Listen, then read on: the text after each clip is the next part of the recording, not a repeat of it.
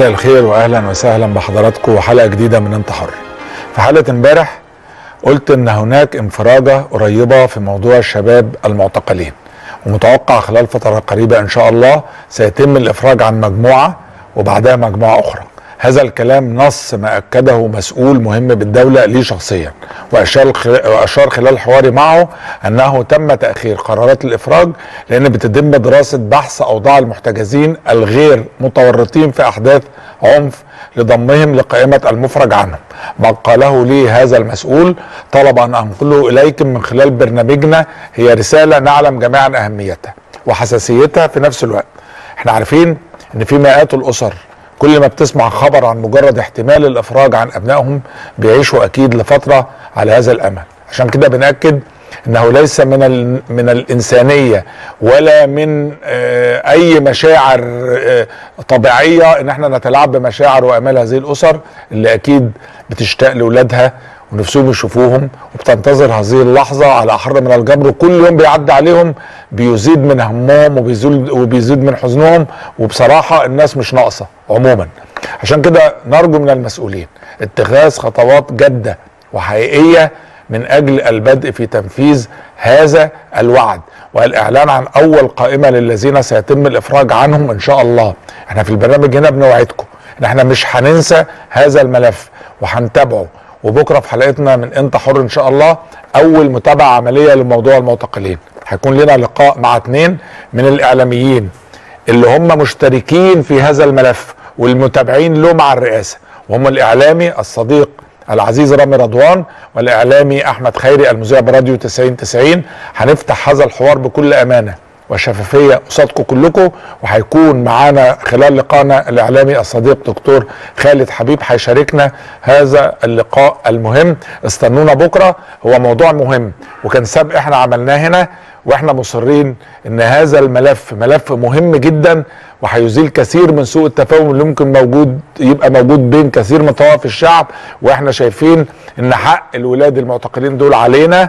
إن إحنا نقف جنبهم في هذه المحنة وأعتقد إن إحنا رسالتنا وصلت لأكبر رأس في البلد السيد رئيس الجمهورية اللي مهتم جدا وشخصيا بهذا الموضوع. الليلة دي في أنت حر هيكون لنا اللقاء الاسبوعي مع الناقد الصديق آه الناقد الفني رامي عبد الرازق. هنتكلم عن مجموعة أخرى من الأفلام. هنتكلم النهارده عما يمكن تسميته أفلام الميلودراما الشعبية وهما أفلام ريجاتا وهز وسط البلد. وفي الجزء الثاني من فقرتنا الخاصة عن أفلام الموسم هينضم لينا السيناريست والمنتج الصديق محمد حفظي. مؤلف فيلم أسوار القمر هنتكلم عن الفيلم والتجربة الفنية الجديدة لدينا الفيلم اللي قعد يتصور أكتر من أربع سنوات. امبارح أيضا اتكلمنا عن الاصدارات الجديدة للكاتب والاديب الكبير إبراهيم اصلان وكان معانا ابنه الجميل اللي أنا حبيته جدا اول مرة التقي به هشام اصلان.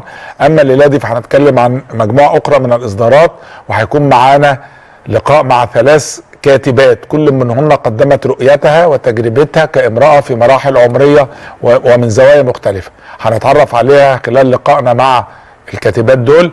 كاتبة منى سراج مؤلفة لأننا من كوكب النساء والكاتبة حنان الجوهري مؤلفة ظل حيطة والكاتبة يمنى خطاب مؤلفة فيديو تسعيناتي. أما بعد الفصل مباشرة فهكون أول فقرتنا مع الكاتبة الصحفية الصديقة نشوى الحوفي. وهنتكلم ما تنسوش نشوى الحوفي آخر مرة جبناها هنا بكت بالدموع لأنها كانت شايفة حاجات نفسها تحصل وما بتحصلش. إحنا جايبينها النهارده طبعا هنتكلم في الهم العام لأن إحنا يع- يعنينا نسمع رأيها لكن هنتكلم عن معرض الكتاب أهم الإصدارات التي تضمنها المعرض وأيضا إصدارات جمال الغيطاني المؤلف الكبير العظيم التي أصدرتها دار نهضة مصر للنشر احتفالا بسبعينية هذا الأديب الكبير. انتظرونا بعد الفاصل وحوار عن الأدب والسياسة مع الكاتبة الصديقة نشوى الحوفي وانت حر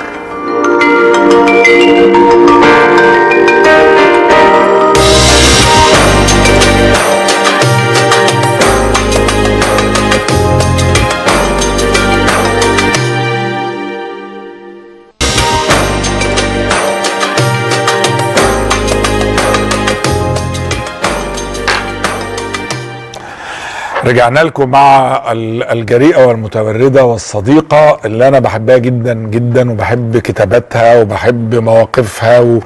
وبحس إنها يعني أختي الصغيرة الكاتبة الجميلة نشوى الحفظ منورة. ده نورك. والله منورة يا أستاذة. والله ده فندم. أولا آه، مبروك على آه، إصدارات دار نهضة مصر اللي سعادتك رئيستها. هو أنا بس عايزة أوضح النقطة دي الحقيقة آه، اتفضلي. يعني، آه الاستاذه داليا إبراهيم هي رئيس آه. مجلس الإدارة لكن أنا رئيس إدارة النشر ما ما أنا موافق. ما أنا عارف. يعني أنا عارف المعنى ده. آه. آه، مش رئيس مجلس الإدارة لا أنا عارف. رئيس المسؤول عن النشر. آه، ده حقيقي. بس خلاص ما هو. دار دار نشر يبقى المسؤول عن النشر. لا أصل أنا خدت ألقاب كتير. قوي لا، ما- دكتورة فأنا مش دكتورة. لا لا لا خلاص. المسؤول عن النشر في دار نهضة آه مصر. مديرة النشر الصحفي مديرة النشر خلاص. سيبك من التايتل دلوقتي ولا عنوان. قولي لي آه، انت عملت إيه؟ معلش يا جماعة أنا آسف تليفوني طلع مفتوح. قولي لي انت بتعملي إيه السنة دي؟ نزلتي إيه الكتب الجديدة؟ أنا شايف كتاب بينقد معالم على الطريق. آه ضلالات الطريق. آه قولي لي الأول نبتدي ببداية سخنة كده. بداية سخنة. آه قولي لي. ضلالات الطريق ده من طبعا معلم على الطريق ده بتاع آه، سيد قطب. وكتاب الذي دشن للتكفير. صحيح. ولا زال يطبع للأسف آه. في واحدة من أكبر دور النشر في مصر. بجد؟ في واحدة من أكبر دور النشر في مصر. وهي اللي كانت بتروج ليه على مدى كل السنين اللي فاتت. فتروح وتلاقيه. ولا داعي لذكر الأسماء يعني آه أنا عرفتها من غير ما الله أنا ما. أعرفش بس أنا عرفتها. اتفضلي. فالكارثة بقى إن يعني إن الكتاب ده يكون لسه بي يعني بيتم تنقله لحد دلوقتي. آه. يبقى السؤال ببساطة إحنا ليه ما نطلعش كتاب اسمه ضلالات الطريق بنفس حجم الكتاب معالم على الطريق تمام. قطع صغير. آه. نمرة اتنين بينقد كل فكرة من أفكاره بالأدب وبدون تدخل في السياسة لكن أنت بتتكلم في العقل واستخدام المصطلحات اللغوية واست كمان تفسير الآيات الدينية. واللي آه. عامله الحقيقة دكتور محمد الصباغ وهو أستاذ في جامعة القاهرة. تمام. وواحد من الناس المحترمة جدا. الكتاب رائع. هو ليه المحترمين ما بتعرفوش في البلد دي يا أستاذ؟ علشان هم محترمين ما يعرفوش يجروا عشان يدخلوا في الكادر. آه مش كده؟ يعني انت بتقولي اسم. أنا في حياتي عمري ما سمعت آه، عنه. آه، آه. والحقيقة طول العمر الواحد حزين. من أنا معلش أنا بخرج بره السياق بس هو جوه لا، لا، السياق طبعاً، طبعاً. يعني ما يبقى حد قادر على هذا الرد وهذه المجاباه وكتابة كتاب بهذه القيمة صحيح. ويبقى ما حدش يعرفه حتى إحنا اللي. مفترض إن إحنا بنقرأ وبنعمل مش دي تبقى و- ويكون ساعي لنشر الكتاب ومش عايز حاجة آه ويشوف لا أنا فاكرة كويس قوي أول سهل جملة- نشر الحقيقة آه يعني. يعني يعني آه. هو أنا فاكرة الجملة اللي قالها لي دكتور محمد الصباغ يوم ما كنا أول قاعدة في هذا الكتاب آه. لما لقيته بيقول لي أنا بك أنا جايب الكتاب ده وكتبته بس علشان أمنع وجود أجيال جديدة يعني يتم تضليلها بموجب كتاب سيد قطب معالم على الطريق وهو مش معالم هو ضلالات الطريق طب ممكن تسمح لنا بعد إذنك تتوسط لنا عند الدكتور محمد الصباغ نستضيفه يشرفنا. ونعمل مناقشة لكتابه لأن إحنا معنيين هنا طبعا. بف ب- بكشف هذا الفكر الضال صحيح. وعدم وقوع شباب يعني جداد ضحايا اللي صحيح. بيعملوا دلوقتي يبقى إحنا بنحميهم وبنحمي أولادنا وأحفادنا إن شاء الله. أنا عايزة أقول لحضرتك على حاجة. اتفضلي. آه في سنة آه 65 صدر آه تقرير من لجنة الفتوى في الأزهر الشيخ عبد اللطيف السبكي. تمام. والد دكتور هاني السبكي بالمناسبة. كويس. هو يعني دكتور الطب النفسي آه دلوقتي. تمام. هذا التقرير كان ناقدا لكتاب سيد قطب معالم على الطريق. كويس. ولكنه ظل حبيس الأدراج في الأزهر. محدش يعرف عنه حاجة. ليه؟ محدش يعرف. عشان إحنا أمة لا تقرا تاني بقى. اشمعنى بنقرأ معالم على الطريق وما بنقراش اللي بينقد معالم على الطريق؟ علشان بينضحك علينا ويقول لنا ده راجل بتاع ربنا.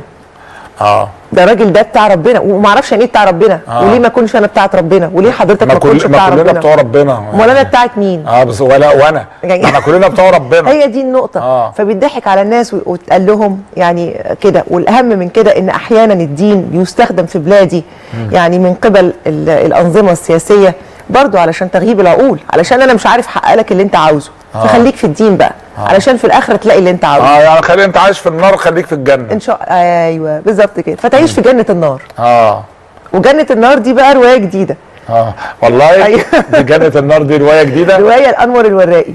أنا سعيدة إن هي كانت خارجة من عندنا. أنور الورائي أول مرة يكتب على فكرة يا دكتور مدحت. آه. الرواية دي لازم تقراها. آه. الرواية دي علمتني حاجة مهمة مع أول صفحاتها. الرواية بتبدأ بفكرة بياع بياع آه اللي هو بياخد من تاجر بيسيطر جوال آه، يعني آه. وهو بيبيع ريموتات. آه. مكسبه اليومي 10 جنيه لما من كل ريموت جنيه. بيبيع ريموتات كنترول يعني التحكم. ده البداية، ده آه. مشهد يعني. حلو قوي آه. فهو ما بيحققهاش. ال 10 جنيه دي آه. لمدة 3 أيام. كويس. يرجع لبيته اللي فيه مراته وبنته فمراته ما فيش أكل يضربها من كتر التعب اللي فيه والغل وهي خايفة على بنتهم فتموت منه. الأم تموت. ولا البنت؟ الأم تموت. آه. والبنت هي اللي تكتشف ده. وتتوالى أحداث الرواية في الله. وصف عميق لحي من بعد 2011 الله. فيبقى الساعة يعني ال ال الشهر ظلم أو السنة ظلم ولا ساعة فوضى. الله. اللي هو تبقى إحنا نجيب محفوظ نادى في الستينات آه. وقال أنت فين يا جبلاوي؟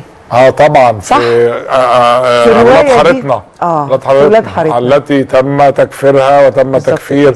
وبسببها طعن نجيب محفوظ وكاد يموت من واحد جاهل لا يقرأ ولا يكتب ولم يقرأ الرواية ولم يقرأ الرواية مم. لكن في الرواية ديت الحقيقة أنور الورائي ما بيقولش أنت فين يا جبلاوي لكن أبطال الرواية بينادوا على الفتوه والبلطجي اللي كانوا الحقيقة عايشين في ظله أحسن لما عاشوا في ظل الفوضى آه على الأقل عارفين على الأقل في مرجع. بالظبط. آه على الأقل في مرجع. أنت. شايفها دلوقتي يا أستاذة نشوى وإحنا بنبحث موضوع مهم جدا جدا وأنت جاية في في أجواء ساخنة. أنت شايفة اللي حصل آه، عند استاد الدفاع الجوي ده إزاي؟ هزعل ناس كتير مني عشان قلت الكلام ده في مقال امبارح والناس زعلت. لا قولي اللي أنت عايزة تقوليه. إحنا لازم لو هنحاكم حد في هذا الموضوع هنحاكم الغباء. تمام. مش هنحاكم الحقيقة اللي, اللي إحنا الإعلام قاعد يتكلم عليه لا اتفضلي. أقول لحضرتك نحاكم الغباء الحقيقة. إحنا لحد إمتى هنبقى سايبين عيالنا مصرين على الفتوانة والبلطجة وأخد حقهم بالدراع في الشوارع؟ تمام. لحد إمتى؟ الأسر اللي علمت عيالها الحقيقة الانتماء لنادي وسابتهم ينتموا لنادي. علمتهم إزاي ينتموا لبلد علمتهم إن هو يعترض. إزاي؟ قالت له إزاي يعمل ط- آه إزاي يحافظ على على بلده لانها جزء منه؟ أقول أرد أنا عليكي. آه اتفضل. إذ لم يكن هناك بلد البلد عندما نمت آه، تلك الروابط الالتراس وال White Knights وما شابهها لم يكن هناك انتماء لهذا الوطن لأن الوطن كان مخطوف ومسروق ومنهوب. تمام؟ أيام حسني مبارك. فانت بعمل إيه؟ نعم. وحضرتك ليه ما اتنهبتش أنت كمان وأنا وأنت؟ عشان إحنا كبار. لا، وهم. سنهم 15 سنة و16 سنة وصعب إن إحنا اتربينا بطريقة غير اللي هم اتربوا بيها وفي زمن غير ال- الزمن اللي اتربينا فيه. وبالتالي هم كانوا حاسين إحنا أنت عارفة إن مصر تحولت أيامها إلى دورات أفريقية وكادت تحدث معركة سياسية بيننا وبين الجزائر من أجل مباراة كرة قدم وهكذا كانت تسير الأمور وتدفع دفعا إلى أن يظل الانتماء للكورة والكره فقط من أكبر رأس في الدولة وكنا بنشوف ناس بنحترمهم والمفترض انهم ناس كبار اللي المفروض بيدوا المثل بيطلعوا في التلفزيونات وفي التوك شوز مش زي الدكتور بقى محمد صباغ اللي حضرتك بتقول عليه وبيتراشقوا بالألفاظ ويشتموا بعض ويضربوا بعض. هذا هو المثل الذي أعطيناه في الإعلام لهؤلاء الأولاد. ولادك طلعوا كده يا دكتور؟ مش كل الناس لازم يطلعوا أنا كده. هسألك سؤال ولادك طلعوا كده؟ مش لازم يا؟ نشوى. طلعوا بص ليه؟ أقول لك. ليه ما طلعوش كده؟ آه. لأن هم طالعين متمردين بشكل آخر.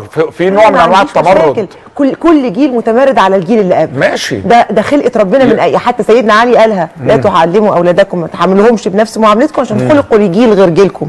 صح؟ تمام. لكن أنا مش مسؤول عن السياسة. أنا مسؤول عن ولادي. يعني أنا لما أقف قدام ربنا مش هيحاسبني البلد كانت بتتساق إزاي. لكن هيحاسبني أنا ربيت ولادي إزاي. إحنا الحقيقة فقدنا ده يا دكتور مدحت. يعني انت شايفة ان اللي حصل في دار الدفاع الجوي ده آه، الخطأ هو خطأ الأولاد. لا. ده خطأ متراكم. تمام. يبدأ من البيت.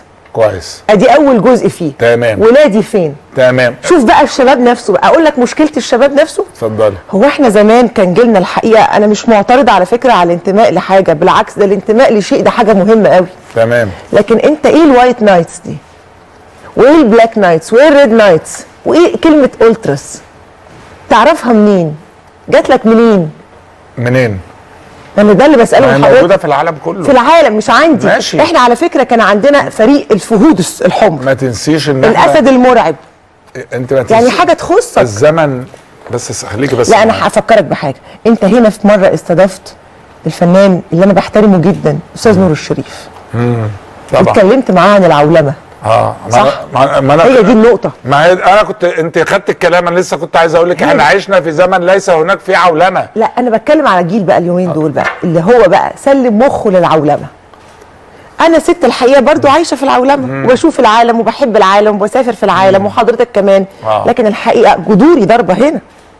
يعني لما أحب آكل أضرب طبق إحنا كشري. أولاد آه، جيل عبد الناصر. لا يا فندم أنا مش جيل عبد الناصر. آه، حضرتك جي- إذا ما كنتش جيل عبد الناصر بلاش تبقي عبد الناصر أنا بس جيل 70 ما- يعني ماشي. عبد الناصر مات سنة ما اتولدت معلش بس أنا اللي عايز أقوله لك. يعني أنا ينطبق عليا جيل الانفتاح. بس الجيل اللي, اللي رباكي هو جيل عبد الناصر. كان ناقد لعبد الناصر. طب وماله؟ على فكرة هو, مش معنى إن أنت جيل عبد الناصر بقى. مع عبد الناصر. هي دي النقطة تاني اللي إحنا هنرجع لها، أنا بس مش عايزة والله بتكلم جد مش عايزاك تفتكرني إن أنا ضد دول كلهم، لكن أنا ضدنا إحنا. ضد جيل أمهات، أنا هحكي لك على موقف أنا عمري ما بنساه، كان اتفضل. ابني أيامها عنده ست سنين ورايحة أخده من مدرسته في وقت الامتحانات. ولقيت اتنين أب وأم بيتراشقوا، أب لطفلة وأم لطفل تمام. في نفس المدرسة.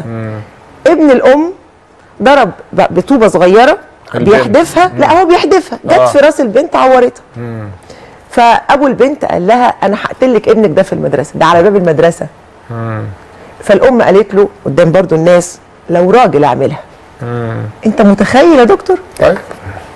الأخصائية الاجتماعية بتاعت المدرسة خرجت تقول للأب ما تخافش إحنا حابسين الولد جوه في أوضة الناصر طيب خلاص يبقى ما هو ده اللي أنا بحاول أشرح اللي بقول لك إن هذا. الجيل اللي ربى وده المثل اللي اديناه لهم يعني حلو قوي. ما هو ده بقى لا المدرسة ربت ولا البيت ربت هو أنا- ولا الولاد بقوا عارفين انتمائهم إيه. طيب. حلو الكلام ده بقول لك. الولاد مظلومين، الولاد لا- ما لهمش ذنب. مش بس مش بس مظلوم. لا يا دكتور لا هيتحاسبوا على إيه في آخر الدنيا؟ على فكرة إحنا مسؤولين. لا جزء منهم مسؤولين وجزء منهم كبير وواعي. تمام. الجزء الغبائي الثاني اللي نحاكمه الحقيقة لازم أحاكم النادي.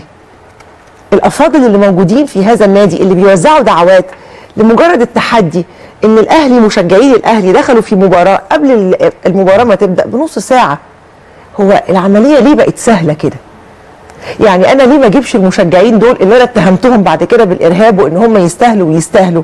ليه ما جابهمش ويقعدوا مع النجوم بتوع النادي دول عشان تعلموا منهم أحاكمك على أخدك لجزء تاني من الغباء. القضاء اللي هو كل شوية يخرج الولاد دول بضمان إقامتهم رغم إن هم متهمين في قضايا. يعني متهمين في قضايا زي مثلا التعرض لمطار القاهرة.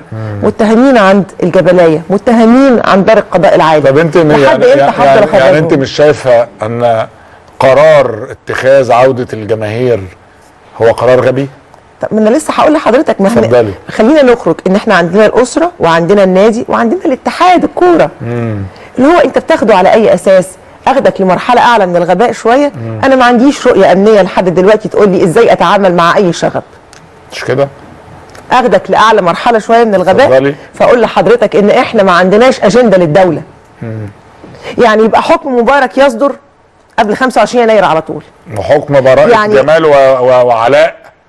هو ما أنا بقول لحضرتك. آه، يوم 28. آه عندي زيارة مهمة جدا. آه. مهمة جدا. آه. مهمة جدا. فيبقى الم- المباراة ليلتها. آه. وأنا عارف إن ممكن يحصل حاجة. عشان كده حاطط الأمن هناك. آه. أقول لك يعني غباء أعلى من كده. إحنا ما سألناش نفسنا لحد دلوقتي. البني آدم في مصر عايزينه كمان عشر سنين. مواصفاته إيه؟ عنده أخلاق. بيتكلم لغات. انسان محترم انسان منتمي إحنا ما حددناش ده. يا دكتور يعني عايزة تقول إحنا عايشين في منظومة غباء. هي ده. بداية من أصغر نواة مش بيقولوا الأسرة هي أصغر نواة في المجتمع. آه. يبقى أصل بداية أنا بقول كده ليه يا أستاذة نشوى؟ لأن الحقيقة شيء مستفز جدا إن يطلع كل الناس يطلعوا ان الولاد هم سبب كل الكوارث وال وال والأكبر منهم المفروض تاخذوا القرارات السليمة والصحيحة في هذا التوقيت. ما لهمش أي ذنب في أي حاجة ولا عملوا أي حاجة في الدنيا. كل مشترك في الجريمة آه، ده. بس. والسؤال هو إحنا في معركة وجود عايزين مصر دي تعيش ولا مش عايزينها؟ كل واحد فينا بالمناسبة لازم يسأل نفسه السؤال ده حضرتك وأنا وكل الأطفال والشباب اللي في الشوارع. آه. أنتوا عايزين مصر ولا مش عايزينها؟ عايزينها تكمل ولا مش عايزينها؟ عارض. بالظبط كده زي حزب الدستور لما يقول لك أنا مش مشارك في الانتخابات. انت هتفضل تمارس المعارضة على الرصيف؟ آه. انت هتشارك لازم عشان ما تعرف. تشارك علشان تدخل الانتخابات وعارض علشان يمكن أنا اقتنع برأيك بعد كده فتبقى انت ظهري في البرلمان. آه. طب أنا هاخدك لنقطة. يعني نقطة يعني منورة. معرض الكتاب إن ده أكبر عدد زار معرض الكتاب. آه من بقى كذا سنة كان معايا هنا امبارح هشام اصلان والأمن ليه صحيح؟ ما ضربش العيال عند معرض الكتاب. ما ده ما الله على آه، الله رد انت. ما أعرفش. رد انت انت مش الأمن بتسأل كان- السؤال. مش مش الأمن الامن كان- برضو اللي كان بيدخلهم. مش الأمن كان قاعد لهم على الاستاد ومصمم إن هو يتحرش بيهم. آه، آه. مش ده اللي الشباب بيقولوا. آه. لا أمال الملايين اللي دخلت المعرض الكتاب وأنا كنت بقف بالساعة إلا ربع علشان أدخل وأنا يعني واحدة من اللي جوه. أقف بالساعة إلا ربع في الطابور علشان أدخل.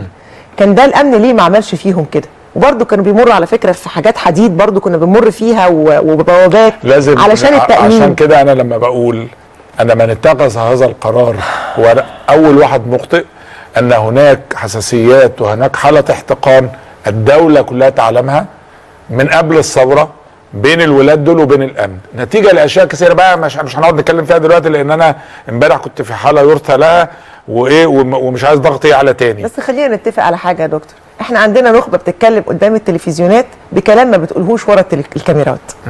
للأسف. آه. ودي على فكرة ده جزئية من الحاجات اللي بتشحن نفس نفوس الشباب كتير.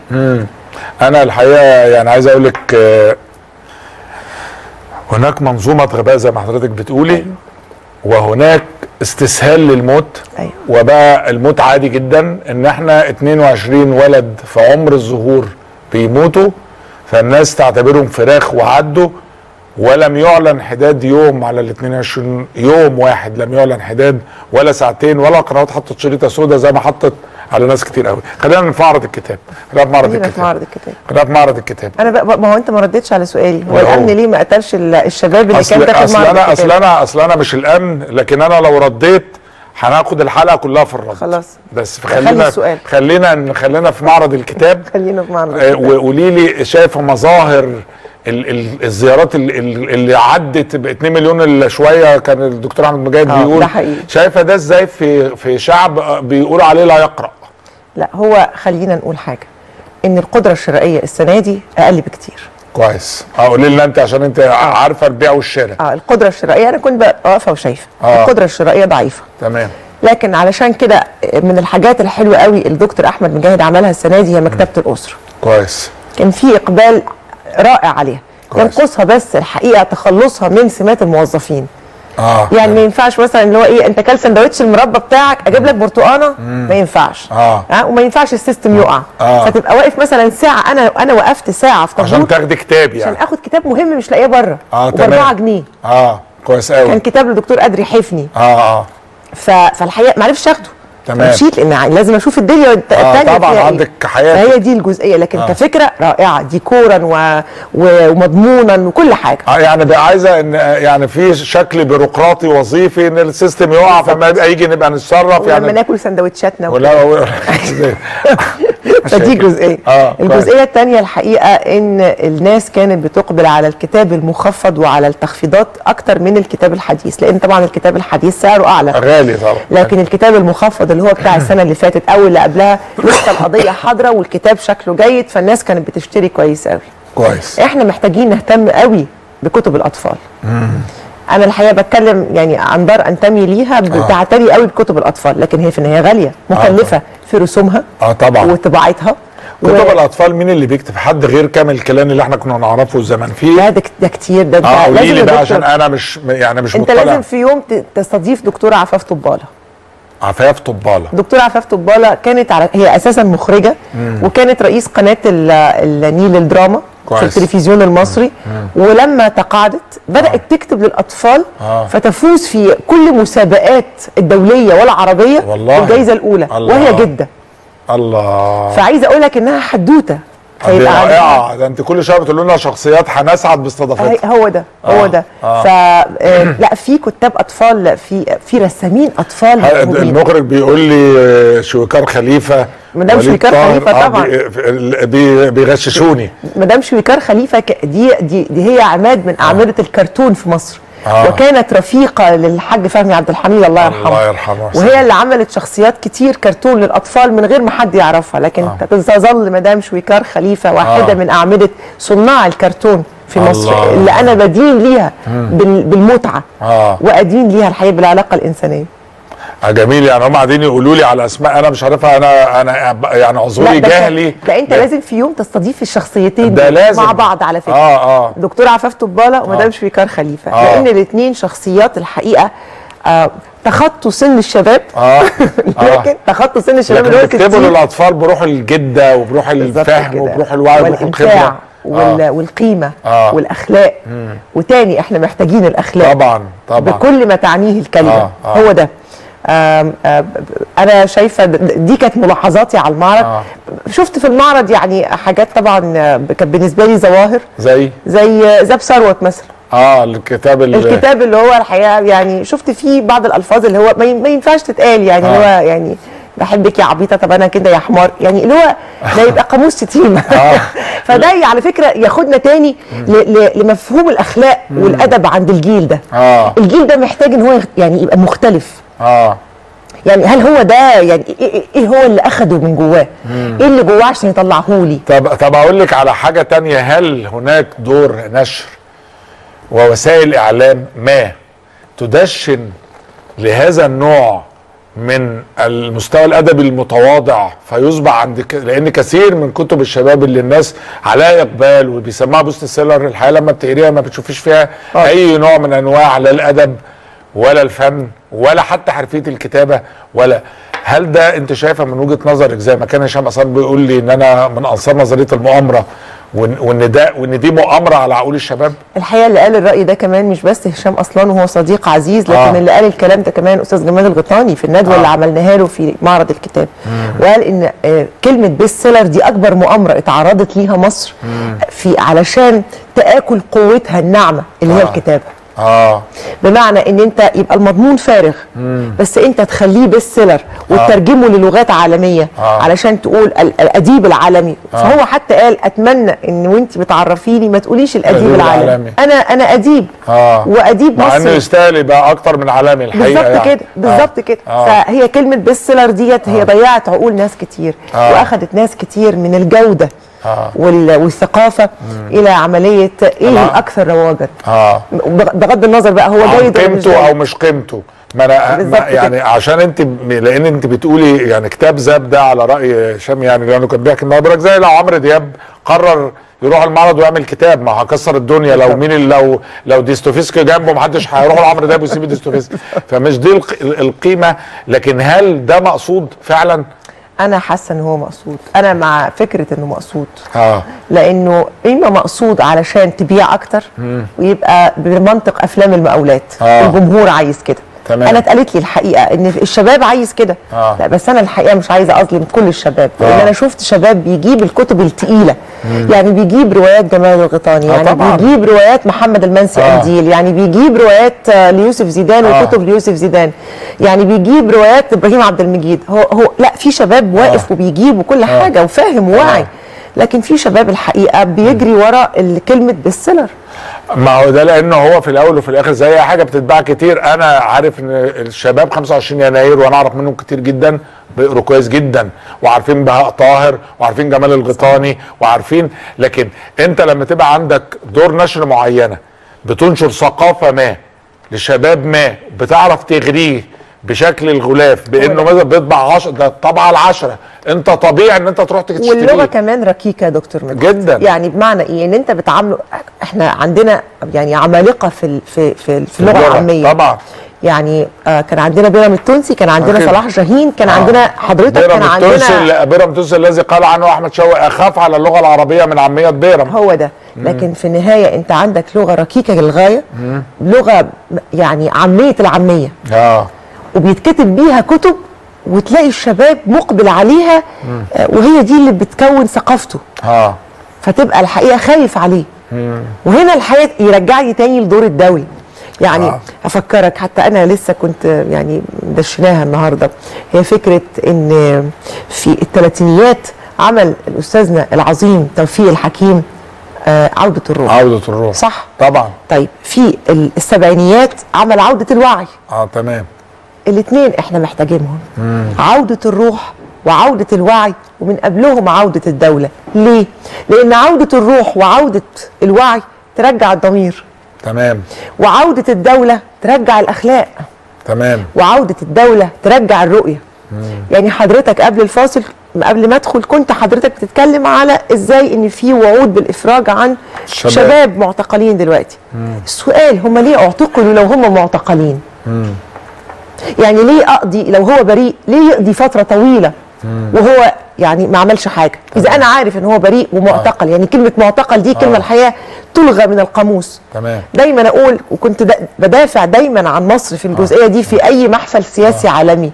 ما عنديش معتقلين أنا عندي متهمين في قضايا. تمام. إذا لم يثبت اتهامه بعد 15 يوم آه. مثلا آه. قاعد ليه؟ آه. سايبينه ليه كل ده يعني؟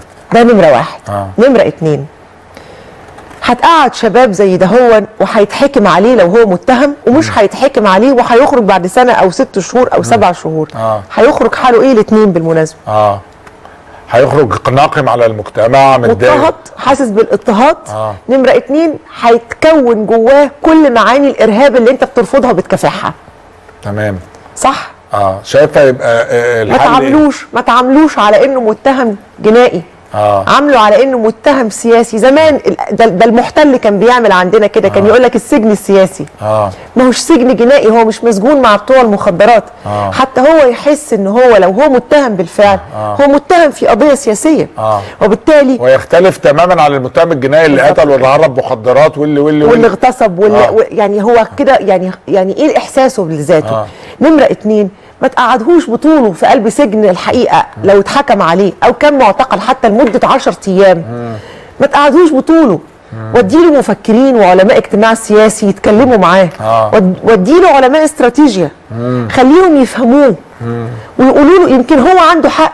آه. يسمعوه. آه. ويكلموه يردوا عليه. يبقى في تواصل. ويناقشوه كأصحاب مش آه. كناس أعلى منه. آه. ما هي برضو الشباب ده بقى علشان نكون حقانيين مش أنا بقول هو غلطان لأنه آه. ماشي ورا آه. شعارات هو مش آه. عارف معناها. آه. إحنا كمان تعالينا عليه. وقلنا له اسكت أنت مش فاهم حاجة. فهو ورانا إنه فاهم. آه. بس غلط. آه. مش مهم. هي دي جزئية. إحنا عايزين بكرة ده يبقى شكله إيه؟ عايزين ابننا ده بتاع بكرة. يبقى عامل عامل, إزاي؟ تمام. ملامحه شكلها إيه؟ عايزينه هو الواد الحليوه المتنور المتعلم؟ بالمناسبة في قمة دلوقتي موجودة في دبي. تمام. قمة عالمية ل- كان فيها رئيس الوزراء. بالظبط كده. آه، في ضمن الكلمة بتاعت كوريا الجنوبية تفتكر الم- المسؤول بتاع كوريا بيتكلم في القمة دي؟ كان بيتكلم عن إيه يا دكتور مدحت؟ كوريا الجنوبية. اللي كنا زيها في الستينيات أو أعلى منها كنا أعلى كمان. منها طبعا. طيب بيتكلم عن إيه؟ كان لحد بيحاولوا. ينقلوا تجربتنا في في التطور والنمو. بالظبط كده. فبيتكلم عن إيه؟ بيتكلم عن التعليم. لحد دلوقتي. وشوف وصلوا لإيه؟ بيقول إحنا إحنا بنفكر دلوقتي في التعليم بلا امتحانات. علشان يبقى التعليم للإبداع. آه تعليم للتعليم. للإبداع آه. يعني الطالب يروح المدرسة من غير رهبة الامتحان آه. لا يروح ياخد ويتعلم ويستمتع بالعلم آه. علشان يبدع علشان آه. يفكر مش عشان في الآخر يمتحن ويعدي السنة اللي بعدها ويرمي اللي خده آه. آه. وتعلمه شوف الناس اللي هي حققت إيه آه. آه. بتفكر إزاي آه. آه. وإحنا النهارده وزير التربية والتعليم بيصرح الانتهاء من تطوير المناهج خلال عامين يا عم مناهج إيه أبوس إيديك آه يا عم اديني رؤية آه يا عم قول لي انت بعد المناهج دي عايز المنتج التعليمي بتاعك شكله إيه؟ ما اللي انت بتقوليه ده طبعا ده مهم جدا انت بتقوليه وده محتاج أص- أصل هي مش رؤية تعليم هي رؤية دولة. الله انت. محتاج إيه؟ فين؟ محتاج صحيح. إيد عاملة في الحتة الفلانية محتاج مهندسين ولا دكاترة ولا عمال نسيج ومواصفاتهم ولا إيه؟ ومواصفاتهم إيه وعلى اساسه تحط. استراتيجية تعليم وهتديهم لأي سوق أنا- السوق الداخلي ولا السوق الخارجي عشان كده أنا وجهه نظري يا أستاذة إن هناك إلى الآن غياب للرؤية العامة وإن إحنا بنشتغل حتة بحتة. بسياسة التنطيط. بس كده اللي هو إيه حتة هنا وبعدين نروح نروح حتة هنا آه وبعدين نجري على بس حتة هنا. كده لكن ليس وسياسة هناك. رد الفعل كمان آه يا دكتور. طبعا طول هو الوقت. لما يحصل حاجة نجري نشوف هو إيه آه، اللي حصل. آه،. يعني إحنا بقالنا قد إيه بنقول أن وزارة الداخلية لا تمتلك الرؤية. بنقول قد إيه أن وزارة الداخلية تتعامل على رصيد 30 6 وأن هذا الرصيد سيتآكل يوما بعد الآخر. تمام. بنقول قد إيه أن وزارة الداخلية الحقيقة محتاجة حد يحط لها رؤية فيضمن حق الضابط اللي بيأدي واجبه والمجند اللي بيأدي واجبه ويضمن حق المواطن اللي الضابط ده بيعمل لأمنه آه، وأمن بالظبط. الدولة. بنقول قد إيه إن مش محتاجين نعيد ونكرر تاني سيناريو قبل 2011 حينما كانت وزارة الداخلية تتحمل فشل نظام الدولة. تمام. فتبقى هي في مواجهة الشارع. آه، طول فالناس الوقت. تكرهها. آه. بنقول قد إيه الكلام ده؟ إمتى حد هيسمع الكلام ده آه. علشان نلحق بعضنا؟ إحنا مش أصلها لو غرقت ما كلنا غرقانين. والنبي هتعك علينا. أيوه ما طبعا طبعا. يعني هي ملهاش علاقة إن في مؤسسة هتقول هي اللي غلطانة إحنا ملناش دعوة. خالص. لا اطلاقا وهي لما وقعت وقعت على بعضها. هي لما وقعت وقعت على بعضها. آه. النهارده 11 وسلمناها فبراير. للإخوان وسلمناها لأن هم القوى الوحيدة اللي فضلت تركب وما عندناش استعداد يحصل هذا للمرة الثانية على الإطلاق. ليه؟ فز... ما عشان كده بقول لك ليس بس كده. آه. علشان إحنا آمنا بالشباب قوي. آه. هنا ده بقى النقطة. أنا أنا على فكرة أنا مأمنة ومسلمة لأصحاب بكرة ده آه. من هنا لآخر عمري. تمام. لأني مأمنة إن إحنا بكرة مش موجودين أكيد. هم اللي مكملين. لكن في نفس الوقت حياة النبي يا يا يا, يا ابني يا نور عيني يا ضنايا. خلي بس عندك رؤية واهدى شوية وقول لي أنت هتعمل إيه ولما تبقى عايز أنت- تعمل حاجة. يا أستاذة أنت تبقى بس حط لها رؤية. طب أنت إذا كنت الشاب عايزاه يبقى عنده رؤية ده أنت بتقولي إن الكبار ما عندهمش رؤية. ما هو قال لا مش إحنا الجيل اللي اتعود يكتب طب ما هو ده اللي أنا- الكوبيا ثانية واحدة وده الجيل اللي اتعود يكتب وهو عارف يعني لما الدش يبقى عطلان هو اللي يصلحه لي ماشي. واللابتوب يبقى عطلان يبقى هو عنده رؤية تانية مختلفة ماشي. أنا عايزاه يستغل ده بقى ماشي بس يعني مش عايزة تويتة تحركه لا مفيش تويتة بتحركه لا، في تويتة بتحركه. لا ده مش كل الناس يا والله معظمهم. تويتة بتحركه. اسمعيني يا أستاذة اتفضل. عندما تكون القائمين على الدولة زي ما أنت بتقولي ما عندهمش رؤية أمنية ولا عندهم رؤية ما تطلبيش من الشاب يبقى عنده رؤية. هو عنده رؤية في حدود خبراته اللي قد كده وحدود اندفاعه وتمرده وجرأته اللي مناسبة لسنه. لكن أنا وأنت طيب هنتحمل الحقيقة غياب الرؤية عند الطرفين لحد إمتى؟ لا إحنا بنحاول ما يبقاش ما إحنا كلنا بنحاول يبقى في دي- وإحنا قاعدين هنا بنتكلم. أيوة. وإحنا لسنا ضد حد ولا مع حد. حد. ونفسنا البلد دي تقوم. بالظبط. فاحنا بنتكلم حتى ما بنقول أن ال- التعامل بالعنف المفرط اللي تسبب في موت 22 آه 22 شاب إحنا مش ضد حد. إحنا بنقول هو عنف هذا مفرط. معلش دكتور خليكي. بس معايا. لا تاني والله. هو عنف مفرط. يعني ولا هو عند مفرط؟ بص يا أستاذة نشوى سيبك من المسميات. أوكي. هناك إدارة أزمة وصلت إن 22 واحد مات. أنا موافقاك خلاص؟ على النتيجة. الأزمة فشلت تماما بدليل إن في ناس ماتت. ما هو الفشل ده بتحمله أطراف كتيرة مش بقول الطرف اللي بتحمله. بس لازم اللي بياخد القرار هو يتحمل الطرف الأكتر في ال- الخطأ اللي حصل. لازم نقول. هذا الكلام. علشان كده بقول لك غياب الرؤية هي جزء منها. أنت إزاي تتعامل مع أزمة؟ لا هو تاني يا دكتور معلش عشان بس هي الدنيا دلوقتي بقت مصر الحقيقة تتجاذبها أطراف كتيرة. والكل مش مدرك يعني حتى الحقيقة المشاركين في صناعة القرار مع الرئيس أو المشاركين في تنفيذ القرار مع الرئيس مش مدركين اللحظة اللي إحنا بنعيشها. بمعنى إيه؟ بمعنى إن يعني مؤسسات الدولة غير متواصلة مع بعضها. تمام. بمعنى إن الشباب مش مدرك اللي إحنا فيه. تمام. فأنا الحقيقة أنا وأنت وناس كتير قوي همها هم البلد دي. السؤال هو البسيط قوي. لحد إمتى هنفضل نتحمل غياب الرؤية عند كل الأطراف؟ بس كده هو ده اللي إحنا عايزين بقى نقوله. الطرف اللي هو واقف في الشارع والطرف اللي قاعد في المكتب. ده عشان كده يا أستاذة إحنا بنتكلم طول الوقت بنقول لازم يبقى في نوع من أنواع التواصل المستمر. هناك حالة احتقان. هل أنت متخيلة يا أستاذة حالة الاحتقان اللي في مصر بسبب بتوع الحزب الوطني اللي راجعين يرشحوا نفسهم في الانتخابات؟ متخيلة دي عاملة عند الناس إيه؟ حتى على فكرة اللي ما بيعرفوش مش مش لازم يبقى مسيس ولا لازم ده الناس اللي ماشية في الشارع. مصدقاك طبعا. مصدقاك طبعا. في هذه الحالة. لا وبيصرفوا فلوس كتير على فكرة. جدا. يعني وهينجحوا أنا- لو نزلوا. أنا سمعت إن يعني فيزيتة عز مثلا وصلت 200 ألف جنيه. طيب يعني.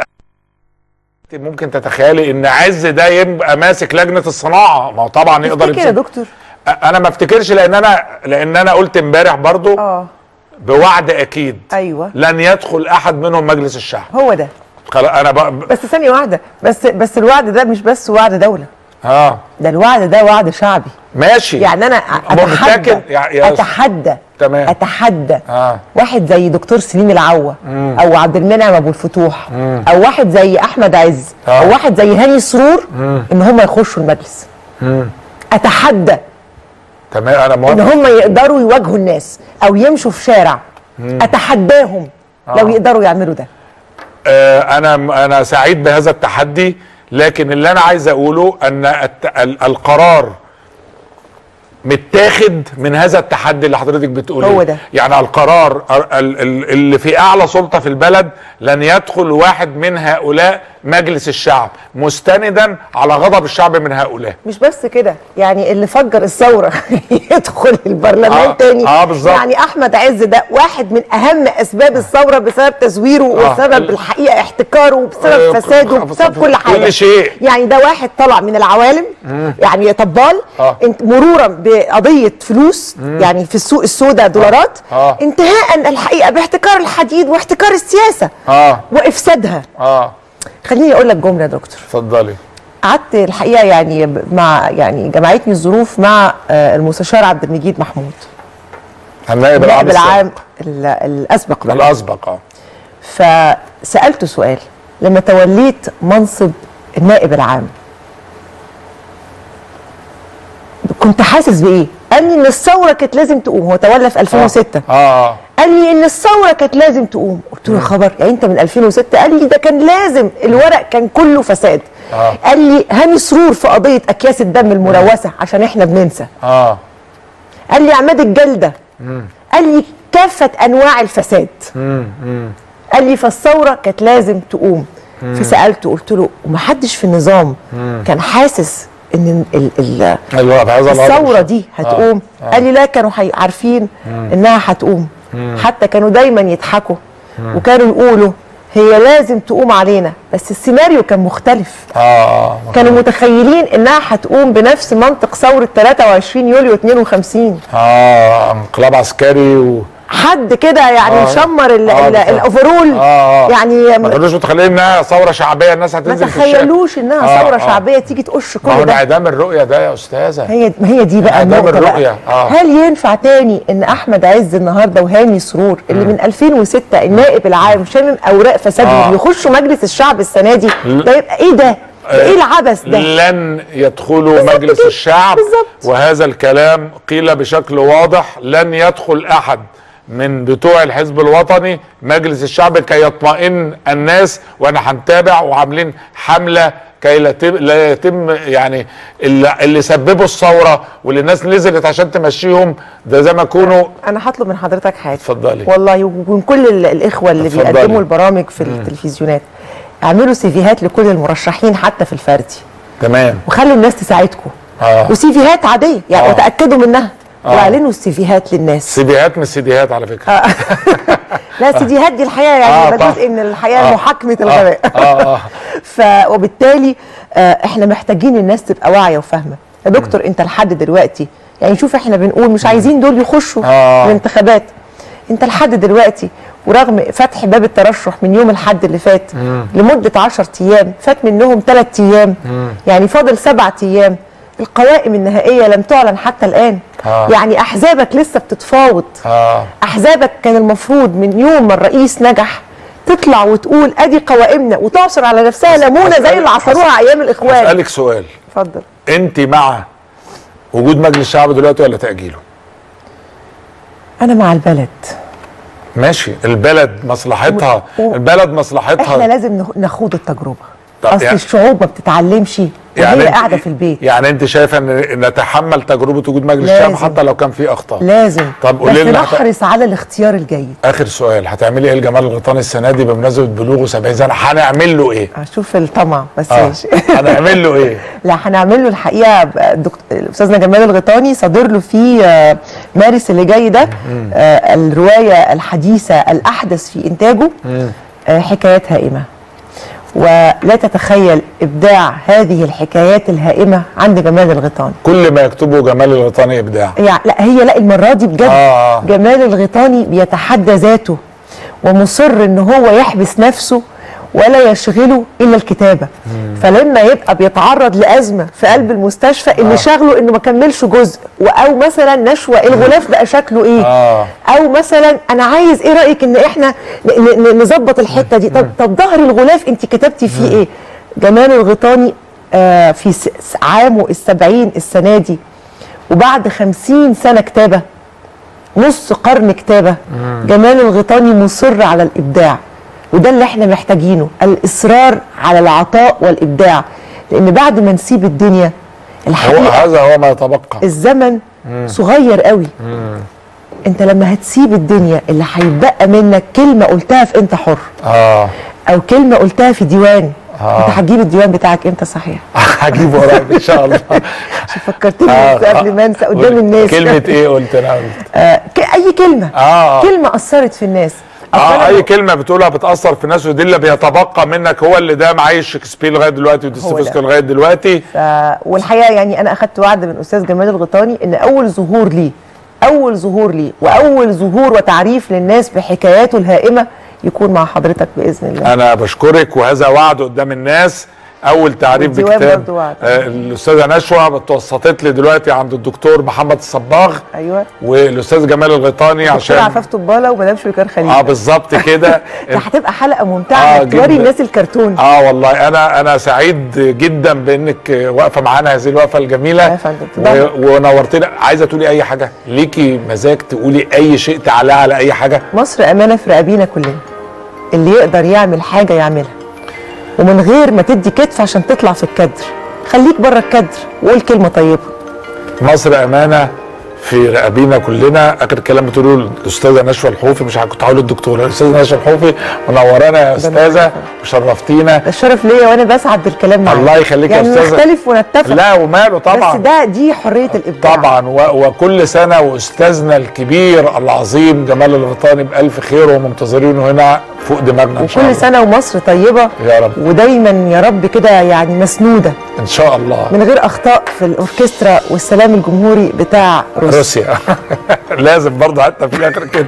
فاصل ونلتقي مع الناقد الجميل رامي عبد الرازق وهنتكلم عن السينما والميلودراما الشعبية. فاصل وانت حر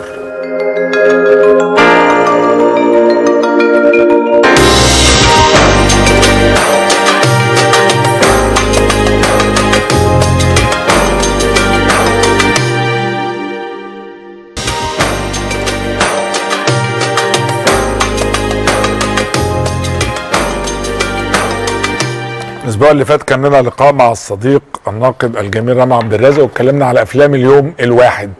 آه النهارده هنتكلم على نوع تاني من الأفلام هو استمتع الأسبوع اللي فات بثلاث أفلام من ملامح وش الاستاذ رامي كده. أنا حسيت إنه إيه اتعذب الأسبوع ده. منورنا يا أستاذ رامي. أنا يا دكتور إزيك؟ منور الدنيا كلها. الله يخليك. وجايبينك في هذا الجو الصقيع في آه. مدينة الإنتاج الاعلامي فإحنا بنعتذر عن الجو. لا اطلاقا. اتفرجت عليه الأسبوع ده يا أستاذ رامي. اتفرجت الأسبوع ده على هز وسط البلد ورجاتا وختمت بأسوار القمر. جميل. نبتدي بهز وسط البلد؟ نبتدي بهز وسط البلد. عندكم يا جماعة trailer ولا ن... ها؟ عندكم trailer ولا نتكلم؟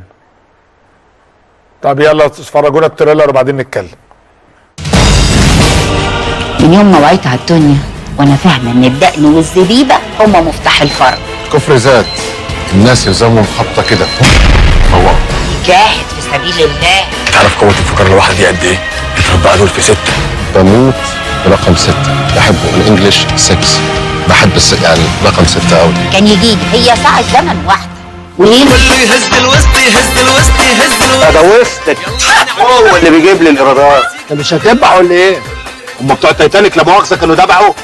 تعال. لا ما ذبحوش مش ناوية بقى تسمعي كلامي وتبطلي عندي؟ لمس ما بنلمسوش. مسك ما بنمسكوش. هز هز. وارجي ولا تحب تطلع تريح شوية؟ لا لازم أروح. جربتي المكتبة؟ ضلمة وخنقة وريحة الورق بتخنقني إيه رأيك لو نجيب بيت نحطها في وش اللي داخل؟ أو في صدره. بعد ياخدي كل حاجة حتى جسمي. بس ما جابليش حاجة. اللي خلفتيهم منه. بختي فين؟ طورة طورة بس ما حدش يدوس لي على دين وماليش في النجاة ادوكي صفحة على الفيس. لا بس ليا صفحة في حتة تانية. شوف. ده جنن الرجالة. إيه؟ أنا عايزاك تجنني النسوان يا بنت نسوان كتيرة قوي عملوها. اجبتي شوية. ما تنساش الدعاء بقى يا مولانا. ربنا يتولاك. عايز كام عشان تنجز؟ ما تفكرش. الناس بطلت تشرب بيض يا بابا. بقت بتضرب بنك وهجيب لك معايا فياجرا ولا حاجة يعني كلكم على الصدر وسابين الراجل لوحده على الورك ده كلام ناس مش هيفهم. بناكل وإحنا بنتخانق. وبننام وإحنا بنتخانق. وبنشتغل وإحنا بنتخانق. طب ما نحب وإحنا بنتخانق. عشان الجمجمة مش لايقة للخرام بتاعك. أربع أمارات أهو. استاهلوا دول لا. أضرب نفسي بالصوم القليل وربنا لا رجعها لك ولو آخر يوم في عمرك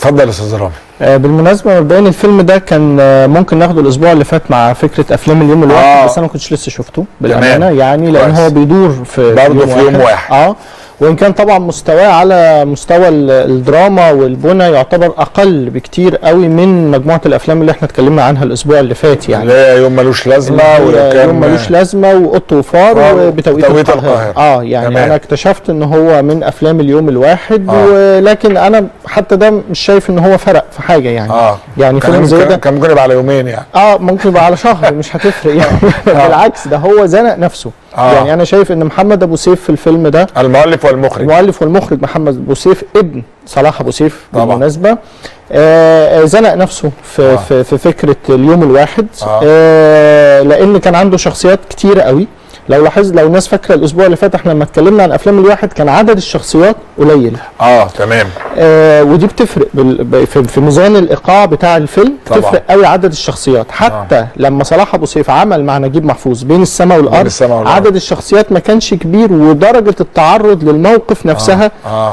آه كانت آه تسمح بده آه آه. المكان كمان كان يسمح بده. وما كانش عدد الشخصيات كبير. هنا إحنا عندنا كم شخصيات كبيرة لدرجة إن في شخصيات بتظهر وتختفي وإحنا بننساها. آه. يعني ممكن آه شخصية تظهر في مشهد أو في مشهدين. آه. آه، بيتحمل على زمن الفيلم وبيتحمل على الدراما. ومفيش امتداد ومفيش- درامي ليها. مفيش امتداد للدرامي ليها وما آه. بتبقاش عارف إنت هو هو هو عايز هو هو ظهر ليه آه. واختفى ليه. تمام. يعني وليه أنا ما تابعتوش زي فعمل نوع من أنواع الترهل الدرامي وال ترهل وال- في الوقت آه. في, في, في الإيقاع بشكل عام تمام. حمل على ال ال السيناريو آه. وفي نفس الوقت آه طب اربط لي ده بقى بفكرة فتيجي آه. تدور على الفكرة أصلا آه تلاقي الفكرة غايبة طب آه. أنا أنا أنا بتفرج على الفيلم ده ليه دايما يعني الغريبة إن آه آه عادة الدراما بتبدأ بلماذا آه، ليه؟ طبعا. ليه؟ آه. يعني أنا ماذا. لو؟ لماذا ماذا لو أو آه. لماذا أو أنا لماذا، ليه آه. ليه, ليه عايز أعمل ده؟ ال- الغريب إن الجمهور بيسأل نفسه السؤال ده وصناع الأفلام ما بيسألوش نفسهم السؤال ده آه. يعني لما تسأله أنت بتعمل الفيلم ده ليه آه. بيجاوب إجابة غريبة جدا يقول لك إيه أصل ده بيحصل في الواقع آه. طب ونفترض إنه بيحصل في الواقع ومع أي شيء بس واقع ممكن ما صلاح أبو سيف نفسه لما آه. سألوه عن أفلامه الواقعية قال لهم يا جماعة الواقع ليس هو تصوير الشوارع والحواري والأزقة والبشر ممزقي الملابس آه. الواقع هو وجهة نظر المخرج في الواقع هو ده واقعية صلاح أبو سيف آه. ما آه. بيسالوه على الواقعية قال لهم هي وجهة نظر المخرج آه. في, في الواقع, الواقع. آه. مش الواقع في حد ذاته آه. مش إن أنا أجيب كاميرا وأنزل وأقعد أصور وأقول ده يبقى فيلم الواقع. تسجيلي. بالظبط آه.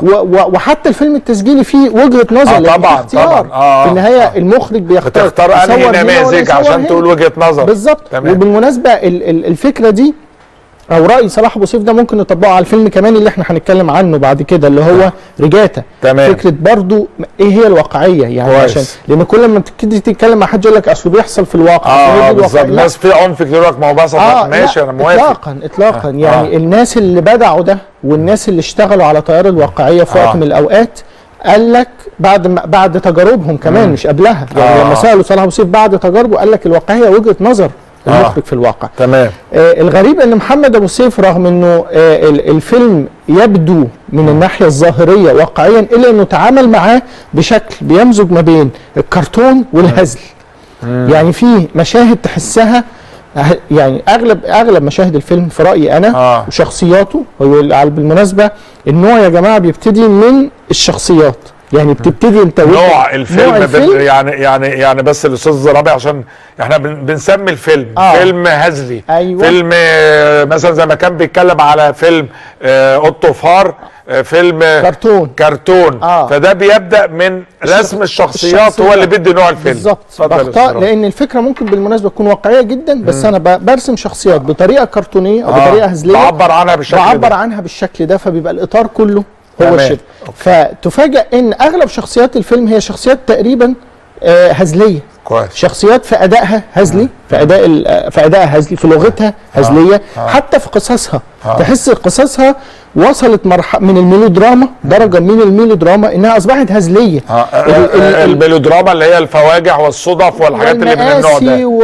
و... و... وان وإن شخص واحد يبقى مصبوب عليه كل غضب. آه، الأرض والسماء آه، يعني آه، بالظبط واحدة كده. فقيرة وبتبيع جسمها وجوزها بيجي لها مرة في السنة ومخلفه منه أربع عيال أوه. وعايز يتباع واحد آه، إتباع وواحد اتخبطته عربية وواحد يعني آه، جميع فواجع آه، الدنيا حصلت آه، في دي بالذات. واحدة ده واحدة من الفيلم آه. اللي هي مثلا شخصية إلهام شاهين أوكي. فتيجي عند شخصية تلاقي كل ده حصل لها واحدة تانية أصل مش عارف ابوها وامها عاملين إزاي وهي بتشتغل وعايزة تمشي بشرفها وبتحوش فبتشتري غوايش بالقسط فالولد اللي هي بت بتحبه. بتحبه بيسرقها في الآخر آه. فبتتجنن آه و- والهام شاهين بتتجنن يعني حتى تشابه مصائر الشخصيات آه. يحسسك إن ال ال ال ال السيناريو جه في الآخر كان عايز يخلص آه. فبقى إيه كل اتنين شبه اتل- اتلطوا نفس اللطة يبقى لهم نفس النهاية آه. يلا خلينا نخلص طب هل اختلاط آه آه بنسميه- الأنواع. آه اختلاط الأنواع أيوه. ده عيب من عيوب الكتابة وعيب من عيوب الفيلم عشان الناس تبقى فاهمة متى, بس متى يصبح بقى اختلاط الأنواع عيب آه. لما ما يبقاش عندي فكرة النوع بيعبر عنها يبقى كويس. لما يبقى تحول النوع إلى الفكرة. تمام. يعني إيه يتحول النوع إلى الفكرة؟ يعني يبقى الفيلم عبارة عن شكل بس. كويس. أنا عايز أحط افيه فأقوم عامل موقف هزلي. كويس. بغض النظر عن ارتباط الموقف الهزلي ده بالفكرة الأصلية ولا لأ. يعني تمام. مثلا الفيلم بيتكلم عن مفترض شارع في وسط البلد. مبدئيا الفيلم متصور في مدينة الإنتاج الإعلامي هنا. جنبنا آه، هنا. آه. بما لا يمت لوسط البلد بصلة. لا في شكل المباني ولا في شخصية المحلات ولا في شخصية الشارع يعني شخصية الديكور آه. لا علاقة لها بالإيهام باسم الفيلم بالإيهام آه، وسط المفترض البلد آه بالظبط بمنطقة وسط البلد كان تمام. ممكن تسميه أي حاجة تانية ليها علاقة بأي حي تاني آه. ولكن ليس وسط البلد أنت مختار أكتر حي منطبع في ذاكرة الناس طبعا. منذ وعن منذ حادثه قرن. وعن واقعة حقيقية حصلت في سينما مترو في سينما يعني مترو، ده آه، ده اللي بالظبط. اللي اتبنى عليها الموضوع ده ده من المفترض طبعا آه. آه. أنت لما تتفرج على الفيلم تكتشف إن هذه الواقعة مش موجودة مش خالص موجودة، آه، لكن, لكن- مش شرط آه. بالمناسبة آه، لا، مش شرط، أنا فاهم. هو هو ممكن بس ينطبق. مسمي وسط البلد. آه لكن أنت مسمي وسط البلد فأول درجات الإيهام بإنك عايز تقول وسط البلد تتكلم عن مكان تورينا وسط آه البلد. عمارة وسط البلد بالظبط. محلات آه، وسط البلد اللي يديني اللي يديني طول الوقت إحساس إن أنا في وسط البلد لكن أنا طول الوقت بتحرك وكأن أنا في ديكور آه. ديكور الديكور إحساس الديكور بيعمل إيه عند المتلقي؟ بيعمل حالة اغتراب آه. بالمصطلح المسرحي آه ما انتش يعني في الواقع. بالظبط. بيعمل مسافة ما بين اللي بيتفرج وما بين المادة المع... المعروضة قدامه. ده. بنسميه إحنا اغتراب. آه. الاغتراب ده بيبقى الغرض منه كسر الإيهام. آه. إن أنا طول الوقت ابقى عارف إن ده تمثيل. تمام. والمفترض إنك بتقدم لي بانوراما واقعية لوسط البلد بالمفهوم. الزمني كمان اللي هو. دلوقتي آه. اللي بيحصل في وسط البلد دلوقتي فتكتشف إن أنت لا قادر تحقق ده آه. ولا أنت متواصل معاه على مستوى ال- الفرجة آه. وطول الوقت في مسافة آه. وطول الوقت أنت مش قادر تندمج لا مع وسط البلد ال- كمكان أنت آه. شايفه ولا مع الشخصيات اللي أنت كمان مش قادر تقنعني بيها وخصوصا مع بقى كتر الشخصيات ووجود شخصيات زايدة عن الحاجة يعني مثلا عندك قهوة آه. بيقعد عليها مجموعة ناس آه، آه، م- من المعاشات. آه. واحدة فيهم بت بتحب واحد وبتاخده معاها وست كبيرة كده. آه. ومحمود قبيله بيطلع معاهم والمفترض إن هم بيمارسوا الجنس وبينزل تعبان ومرهق آه. ومش آه. عارف إيه. طيب تيجي تحمل ده على الفكرة تلاقي إن هو ممكن ما تبقاش موجوده أصلا. ملوش ملوش علاقة. آه. أساسا آه. أنت عايز تقدم بانوراما عن مجتمع وسط البلد ال- الذي من المفترض إنه مجتمع فاسد جدا. كل الشخصيات فاسدة وكل الشخصيات نجسة وكل الشخصيات دانسة. ماشي لكن أنت عج... يعني تحس إن المخرج عجبته حتة إنه يجيب واحد واحدة بيحبوا آه. بعض آه. ويطلع وينزل وبعدين يقول لا لا ظهري بيوجع. تقول له طب ما تيجي تريح شوية؟ لا لا كفاية. فتيجي تحمل ده على الفكرة تلاقي آه. ملوش علاقة بالفكرة آه. لو شلت كل السيكونس ده كل ال كل ال ال- مع الحدوتة دي الجزء ده ممكن الفيلم يمشي ممكن عادي الفيلم يمشي عادي وما يتأثرش آه. وده عيب خطير بالمناسبة آه لما تبص مثلا لبين السماء والأرض ما تقدرش تشيل ولا شخصية من شخصيات. الأسانسير خالص خالص. لأن كل شخصية ليها نموذج وليها دلالة لكن لما تحمل الفيلم بتاعك شخصيات كتير سواء وتسيبها بقى آه، اللي طلع منها بدلالة طلع واللي ما طلعش هو آه. موجود انت بتحمل على السيناريو. وعلى الفيلم وعلى على طاقة المتلقي في آه. في ال- في المتابعة لأن آه. في الآخر بيزهق آه. بيتفرج وبيزهق لأن. آه. طول الوقت الذهن بيحاول يربط العلاقات الشخصيات ببعض. ويربط صح، الشخصيات صح، ببعضها صح. بفكره أساسية. آه. غياب كل ده آه. بيولد حالة من الزهق آه. والملل والرفض. أنت آه. بترفض اللي بتتفرج عليه لأنك لا قادر تفهمه ولا قادر تلاقي له منطق ولا مش. عارف تتواصل معاه. بالظبط بالظبط. وهي طب دي الأزمة الأساسية بالنسبة للفيلم. الفيلم جماهيريا عامل إيه؟ شفته مع الجمهور ولا؟ أنا شفته مع الجمهور. وعايز أقول لك إن رد فعل الجمهور كان سيء جدا بالمناسبة. آه. آه، ضحك في آه، أماكن آه، في الم- في أماكن دراما يعني. المفترض إنها تراجيدية آه، ومأساوية آه، وبتاع بس عشان كده بقول لك هو من كتر ميلو- ميلودرامية الفيلم أنا وصل لدرجة الهزل زي أفلام الهندي كده بالظبط لدرجة إن في وقت من الأوقات وأنا بتفرج تصورت إن الفيلم ده لو معمول parody يعني لو معمول محاكاة ساخرة آه. يمكن كان نجح أكتر آه. لو أنت بتتريق على آه. الميلودراما آه. بال- بال- باللي هو عمله آه، آه. يمكن كان بقى أفضل والناس تق- تقبلته زي Scary Movie كده والحاجات اللي آه بالشكل اللي هو ده. أنت تيجي إحنا عندنا النمط الميلودرامي ده هو أشهر نمط في تاريخ السينما آه، المصرية طبعا. هو إحنا عايشين في الميلودراما طول الوقت تمام. لما تيجي تتريق عليها بالمناسبة بيسمع أكتر مما لو اتريقت على أفلام الأكشن على إن الناس عايشة جواها في. وجدانها كل آه، الأفلام كل اللي شافتها الأفلام الميلودراما فمن السهل إن هو يستدعيها آه فالمشكلة إن هو بيتعامل مع الميلودراما بجدية لدرجة الهزل إن آه. هو يعني عايز يعيط الناس ومزيكا بقى وصعبانيات آه. وبتاع تلاقي الناس ضحكت آه. ليه لأنه مش مصدق هو مش هو فاكرهم بيهزروا آه. فاكر الناس دي آه. بتهزر مش آه. مقتنع ان ده ممكن تكون مأساة أو ان أو ده تحصل في الواقع أو بيحصل في الواقع فطب آه. أنت كده آه، أنت في كده خسرت هدفك تماما آه. يعني أنت عايز توصله لدرجه من من المفترض في الدراما عادة ووصول بدرجاتها الأعلى للتراجيديا يعني آه. إن إن بتوصل المتلقي لمرحله التطهير إنك تخليه يشوف واقع شديد المأساوية فبيحصل له تطهير بيحصل له رفض بيحصل له آه، رغبة في البحث عن حلول أي حاجة من الحاجات آه. الكويسة دي طبعا أنت لما بتتفرج ما بتلاقيش ده خالص آه. ولا بتحس بالأحاسيس دي أنت طول الوقت عايز تعرف الناس دي ليه بتعمل كده؟ لانك مش فاهم هم بيعملوا كده ليه؟ ليه بيمثلوا بالطريقة دي؟ آه. ليه مثلا واحدة زي زينة بتمثل أداء هزلي جدا وبتتكلم بطريقة سوقية وشعبية وبقها وبتاع وسط الشخصيات بتتكلم عادي فتبان هي شا- شاذة جدا آه. الشخصية as آه، character آه. يعني كشخصية آه. يبان شخصية شاذة اللي هو أنت بتعملي كده ليه؟ يعني آه. ليه الشخصية بتعمل كده؟ آه. آه حوريه فرغلي مثلا أو آه. الشخصية اللي قدمتها آه. حوريه آه. فرغلي برضه تلاقيها بت بت بت بتقدم بتدي أداء آه. مبالغ فيه آه. ومفتعل جدا آه. وفي حركات غريبة طب ليه مع إن بقية الناس اللي حواليكي بيتعاملوا عادي آه، يعني الناس بتتكلم. بشكل طبيعي وأنا أسألك سؤال يا يا رامي خطر في دماغي دلوقتي إذا كان فيلم فيه كل هذه العيوب آه اللي بيقرأ الفيلم ك- كممثل والمفترض إنه قرأ أفلام كتير ويستطيع عنده ثقافة إنه يحكم يعني. ليه لما أنت بت- بتتكلم معاهم وتستضيفهم الناس تقول لك وأنا لما قلت لازم الفيلم ده أعمله أنا مستحيل ما أعديش الفيلم ده آه. يعني.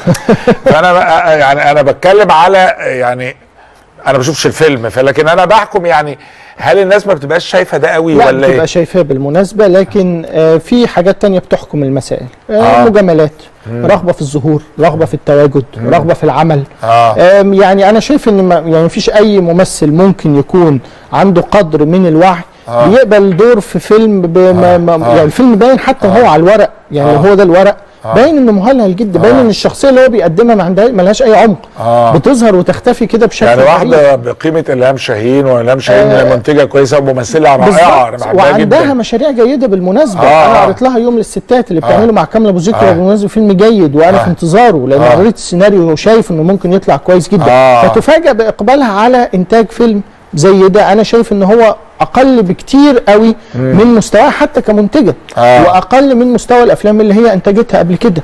وحتى الشخصية اللي هي بتقدمها إحنا شفناها عشرات وإن لم يكن مئات المرات.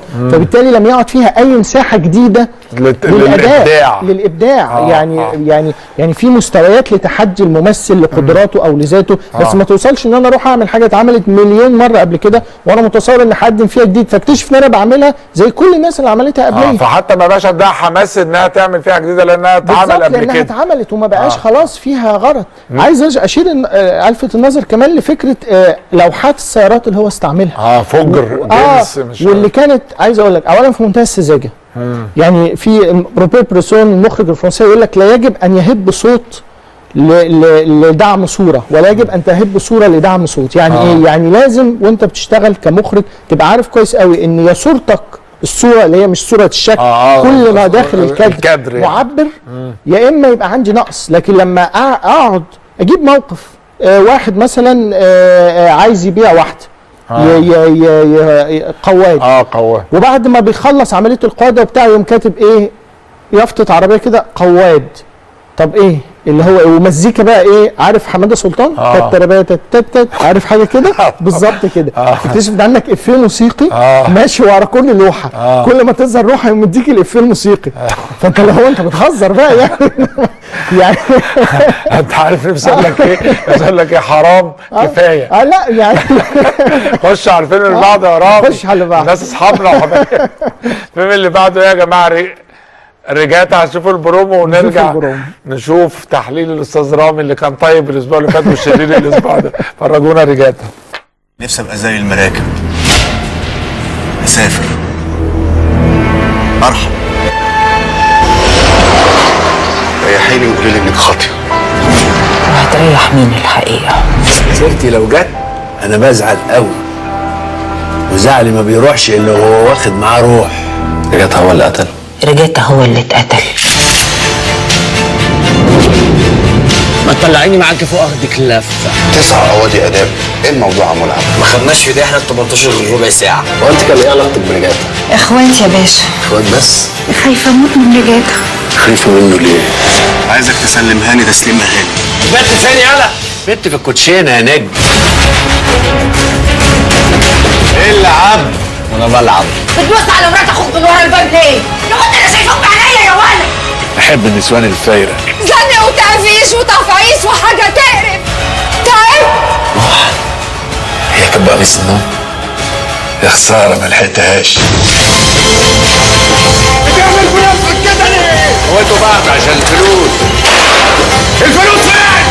البنت فتحت إيدك. لازم تقعد تحور انت يا أبو الباس مقطع لو معاك 250 ألف جنيه. هتعمل بيهم إيه؟ هجيب لي بس مش معطل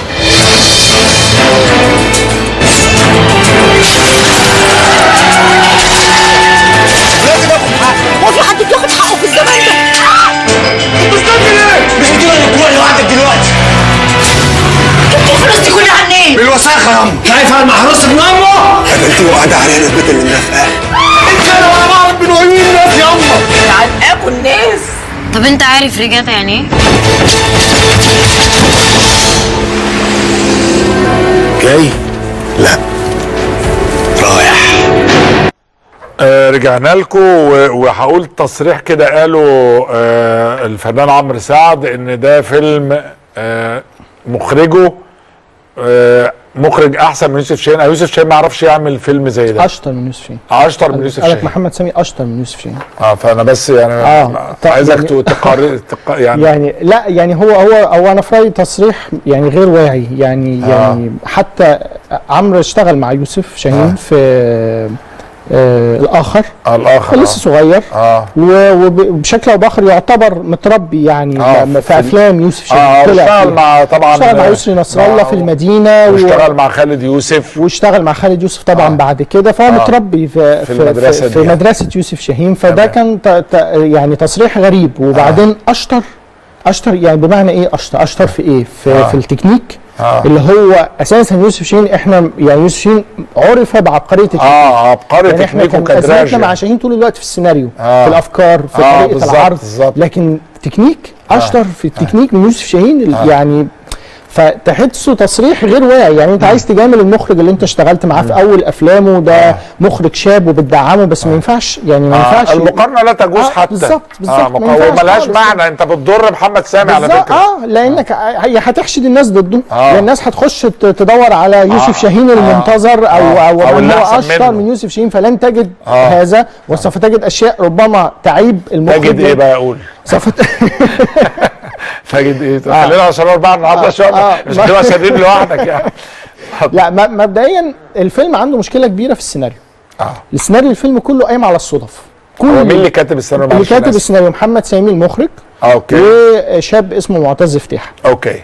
ال- ال- المشكلة الرئيسية في السيناريو أنا في رأيي آه. إنه اولا قايم على الصدف. تمام. كل حاجة بتحصل في الفيلم بالصدفة. كويس. بالصدفة حد ده بيسمع حد فحد داخل عليه فبيتخانقوا فبيخبطوا فبالصدفة بيقع فبتبقى في جريمة قتل. آه. آه مش عارف مين راح عند مين بالصدفة ففي نفس الوقت يقوم داخل عليها شخصية تانية آه. طول الوقت كم لا نهائي من الصدف. لو واحدة ما حصلتش ممكن الفيلم كله يقف.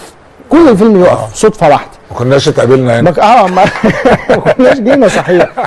فالبناء الدرامي المعتمد على الصدفة هو أضعف أنواع البنى الدرامي. طبعا. و و و وده و و ويجب على ال ال الكاتب أن يسأل نفسه دائما طيب لو لم تحدث هذه الصدفة كيف أستطيع أن أدبر حدثا عشان من أكمل خلال- ال- الوقائع آه، المشاهد الوقائع. والوقائع و- و- و- والصدفه دي لازم تبقى آخر بديل و- وفي مدارس في السيناريو يقول لك لا نحتمل أكتر من صدفتين في عمل درامي واحد آه. صدفتين بس آه. ويعني بن- بنتقبلهم بالعافية يعني يعني آه. في, في مدارس الدراما بره آه. وانت بتكتب سيناريو لو لقيت كاتب أكتر من صدفتين آه. يسقطك آه. يعتبر إنك كاتب ضعيف آه آه, آه. ليه كاتب ضعيف؟ لأن المفترض إن الحدث الدرامي بيتطور بناء على قرارات الشخصيات. تمام. الشخصية بتاخد قرار، هذا القرار هو فعل وله رد فعل. طب أنا أنا هسألك سؤال. خطر في دماغي دلوقتي السؤال الاولا اللي المخرج بيساله لي هساله لك أيوه. اللي هو هل المخرج من حقه يخش في السيناريو يقول له لا ما تعملش كده واعمل كده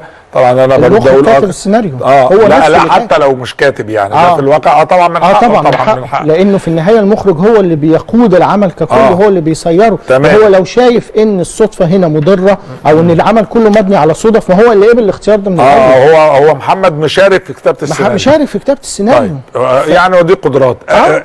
هناك في الد- في في علم الدراما بمناسبة الكتاب اللي كنا بنتكلم عليه فن كتابه المسرحية المسرحية. هو هناك مدرسة تقول إن الوا... الواقعة تصنع الشخصية. أيوه. أو الدراما الواقعة بتاعتها هي البداية لكن ال- الكتاب بيقول أن الشخصية هي من تصنع الحدث. بالظبط. و... و... وأغلب الدرامات إن لم يكن. كلها آه. الدرامات الجيدة آه. هي التي يكون الحدث فيها نابع من الشخصية وليس العكس. تمام. يعني يعني عشان بس الناس تبقى فاهمة الفرق بين الاثنين بالظبط. يعني يعني يعني هل هناك حدث ما حادثة عربية مثلا؟ ده حدث.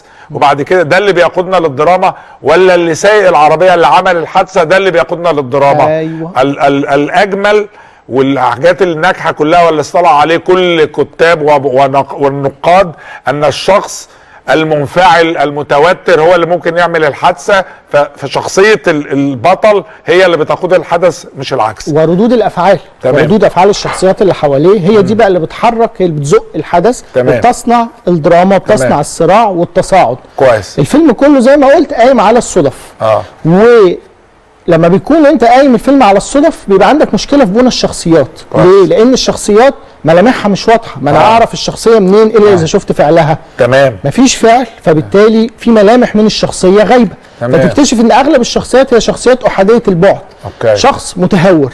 شا واحدة آه، منحرفة. آه شخص آه قليل أدب. اللي هو طول آه، مح... يعني الشخصية اللي بيقدمها ساري اللي هو محمود حميدة. آه. آه طول الوقت مثلا آه بيشتم والفاظ ومش عارف إيه. بس تيجي تشوف له آه ملمح تاني ما. ما, ما تلاقيهوش آه. ما تلاقيلوش بعد تاني أو بعدين آه. كمان يعني ممكن يبقى ليه الأدب بس مثلا آه، طيب في نفس آه، الوقت آه. لسانه طويل بس كا يعني ال- عشان يبقى ال- الملامح الإنسانية للشخصية آه. الأبعاد الإنسانية آه. للشخصية غايبة آه. ليه لأن أنت طول الوقت الحدث اللي بتحركه الصدف فأنت ما فيش شخصية بتاخد قرار فالقرارات الغايبة الشخصية دي الفاعلة. الفاعلة آه، أو حتى ال- الأنتي هيرو اللي هو اللا آه، بطل اللي. بيتلقى آه. الأفعال تمام ده غايب معظم آه. الوقت غايب آه عندي مشكلة في إن آه طبيعة الصراع نفسها مشوشة آه. في الفيلم بمعنى إحنا عندنا حادثة واحد عايز يسافر فبيخش بيورط نفسه في عض- آه، آه، يمضي عقد آه، يجي يستورد آه، حاجات على اسمه يعني فياجرا آه. ومش عارف إيه آه. وكده اللي هو آه، رجاتا آه آه واخوه مدمن ففي وسط ده كله بيتخانق مع أخوه فبيقع فبيتهم بقتله. ده قتل أخوه. بقتل أخوه. okay. فبتبقى المشكلة كلها إن هم يا ترى هو قتل أخوه ولا ما قتلش أخوه بالنسبة للبوليس؟ كويس. بالنسبة للمتلقي هو عارف لأنه شاف الحادثة. آه، okay. فأنت أنت مش عارف أنت بتتفرج على إيه.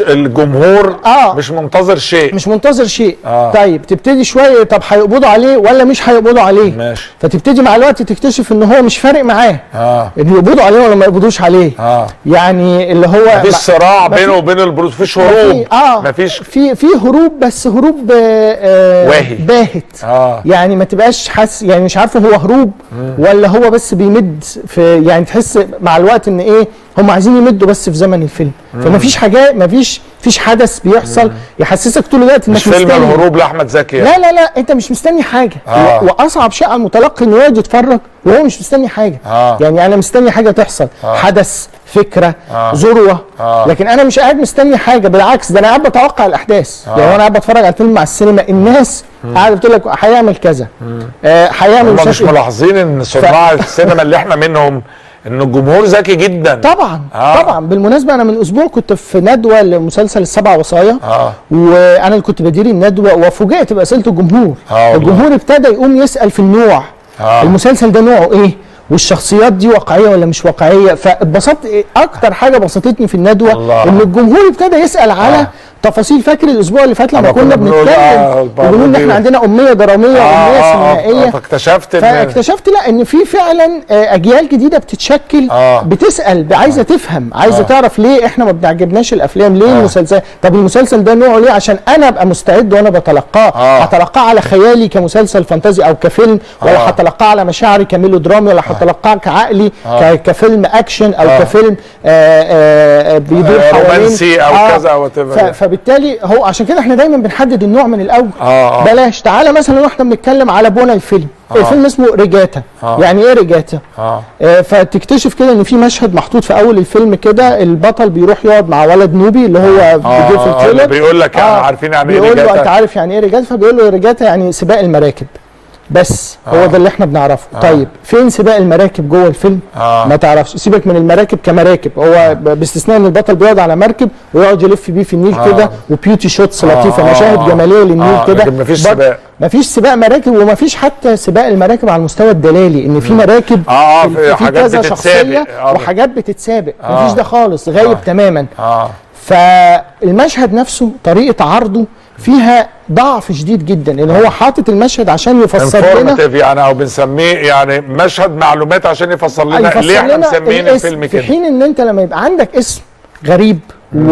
واسم البطل طبيعي إنك تشوف ده من خلال سياق حياة البطل مش إن هو يروح يقعد في مع أي حد فيقول له انت وبعدين ده عنده حاجة و30 سنة أنت جاي دلوقتي آه. بعد 35 سنة تسأل آه. اسمك ريجاتا يعني إيه؟ آه. بيساله يقول له أنت عارف يعني إيه ريجاتا؟ طب ما أكيد السؤال ده آه، اتسأل اتسأل قبل كده قبل كده هو 20 بيقول سنة لنا إحنا يعني. هو بيقول لنا هو إحنا عايز يفهمنا يقول لنا آه. إحنا هو آه. طول الوقت المشكلة إن هو مهتم بينا إحنا آه. المخرج آه. وكاتب السيناريو مهتمين بالجمهور آه. مش بالشخصيات آه. وده عيب خطير بالمناسبة آه. المفروض إن وأنا بشتغل ودي حاجة معروفة بشتغل كاتب على سيناريو، الشخصيات على وبعدين- الشخصيات يعني مش. دعوه بالجمهور آه آه. يعني وحتى المعلومه وبعدين أزمة البطل. تعالى نتكلم على أزمة البطل. البطل ده أزمته إن هو ابن حرام. فتكتشف إن أول عملية بيعملها في الفيلم مطاردة ومش عارف إيه زعيم العصابة اللي هو ساري اللي هو محمود حميدة بيقول له آه أنت ما حدش يعرف أبوك ومش عارف إيه وكده. فبيروح متأزم جدا. وكأن الأزمة دي آه، كأنه اكتشفها. اكتشفها النهارده. آه. طب ما أنت زي الفحل بقالك ما أنت عارف. حاجة و30 سنة أكيد الأزمة دي يعني آه. وخلاص واتعودت عليها آه، آه. وتكتشف إن هو عايز يسافر إيطاليا يهرب. علشان متضايق إن هو ابن ما حرام حدش يقول له هناك عشان ما آه. حدش يقول له. ثم هيقولوها له بس بالإيطالي بس. هيقولها. أكيد طبعا. وعايز ياخد أمه معاه علشان عندها عشان عيانة اللي هي أمه اللي هي إلهام شاهين عشان آه. يعالجها هناك. وهو معهوش فلوس يتم يدفع ثمن الفيزا. آه آه. فبنى ساذج وتصور ساذج جدا. طب آه. أنت مش ضمنك إنك هت- هتعالج أمك؟ أنت عارف تعالجها في مصر لما تعالجها في إيطاليا. آه. و- وبعدين أنت إيه مهنتك؟ سمكري. طب أنت عايز تسافر؟ يعني بن- بناء على أي أساس عايز تسافر؟ يعني في تفاصيل آه. وأسرار. آه، آه، مش عارف تقول أسباب أو مش. عارف تقنع. مفيش أسباب منطقية. آه فيها ليها علاقة ببنى الشخصية الرئيسية. لازم أبقى عارف تفاصيلها وأسرارها ومشاكلها. أنا حتى وأنا بشتغل آه. أنا بكتب عشان أبقى عارف أحركها. آه. لكن تكتشف إن الشخصية بتتحرك لمجرد إن هي تتحرك في إطار يبقى في شوية مطاردات على شوية آه، مشاهد يبقى بيبص على مرات أخوه هو ما بيبصش عليه ده هو بالصدفة سمعها بيتكلم واحد تاني لأن أخوه بالصدفة كلمه في نفس الوقت. آه. فاكتشف إن هي بتكلم واحد آه، تاني. آه، آه. فهو بيتخانق مع أخوه بالصدفة أمه دخلت وبالصدفة مرات أخوه رجعت. آه. فبالصدفة زق اخوه فبالصدفه وبالصدفة اتفرجنا على الفيلم. فلا يعني فعلا طب قول لي أداء الممثلين عامل إزاي؟ واختيارات آه. عمرو آه، آه، يعني اختيارات عمرو سعد آه، هل هو بيسعى إنه يلحق ب- ب- برجب إنه يبقى نجم شباك؟ هي هي الحقيقة أنا شايف إن دي مشكلة عمرو الأساسية آه. إن هو عايز يبقى نجم شباك آه. وأنا شايف إن إمكانياته تسمح إنه يبقى ممثل جيد آه. وده في رأيي أهم بكتير قوي إنه يبقى طبعا نجم زي. ما قلنا على أحمد زكي آه يعني آه. أنت ممكن تبقى ممثل جيد شكلك وملامحك ومرحلتك العمرية آه. و... و... والشخصيات اللي قدمتها وخبراتك كل ده يأهلك إن أنت تبقى ممثل جيد لكن ليه طول الوقت أنت بتحاول تختار أدوار ما فيهاش تمثيل آه يعني ليه بتختار أدوار نسبة التمثيل فيها كتقمص وكأداء آه. وكملامح قليلة جدا في مقابل إن الإطار العام للفيلم آه عايز يبقى يشد الناس وخلاص. آه. بإفيه بقى ب...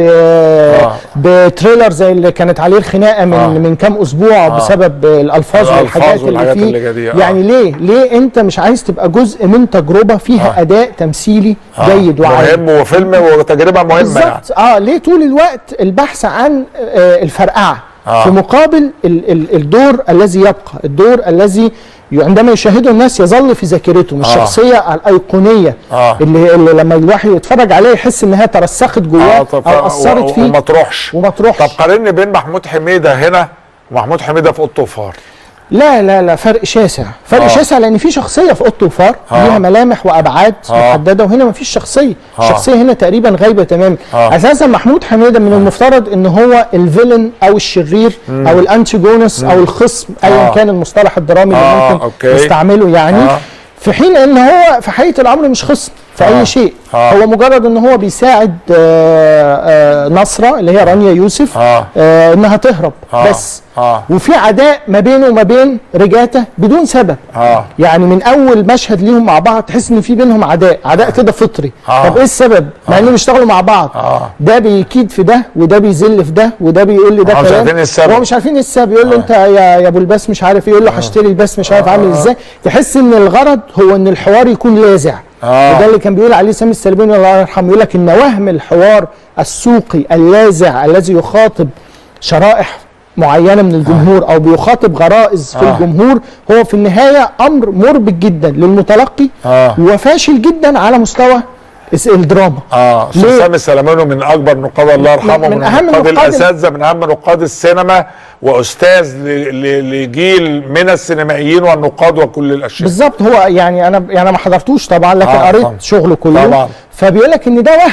إنك آه. لما ت- ت- الحوار يجي بشكل لاذع وسوقي على لسان الشخصيات من غير ما يتطابق الحوار ده مع مع, الشخصية مع مضمون ومع- ومع أبعاد الشخصية آه. مع مضمون كمان الفيلم ككل آه. آه. آه آه لأن اللغة دي جزء من مضمون الفيلم طبعاً. أنا بعبر بإيه بعبر آه. بالصورة بالصورة وبالكلام طبعاً. فبالتالي لما يبقى المضمون غايب أو حتى المضمون مشوش آه. وتيجي اللغة طول الوقت تبقى فيها سوقية وفيها لزوعة شديدة. يبقى أنا غرضي هي اللغة بس كده. مش المضمون آه بقى. مش المضمون. آه. طب دلوقتي إحنا اتكلمنا على رجاتا اتكلمنا على هز وسط البلد. أيوه.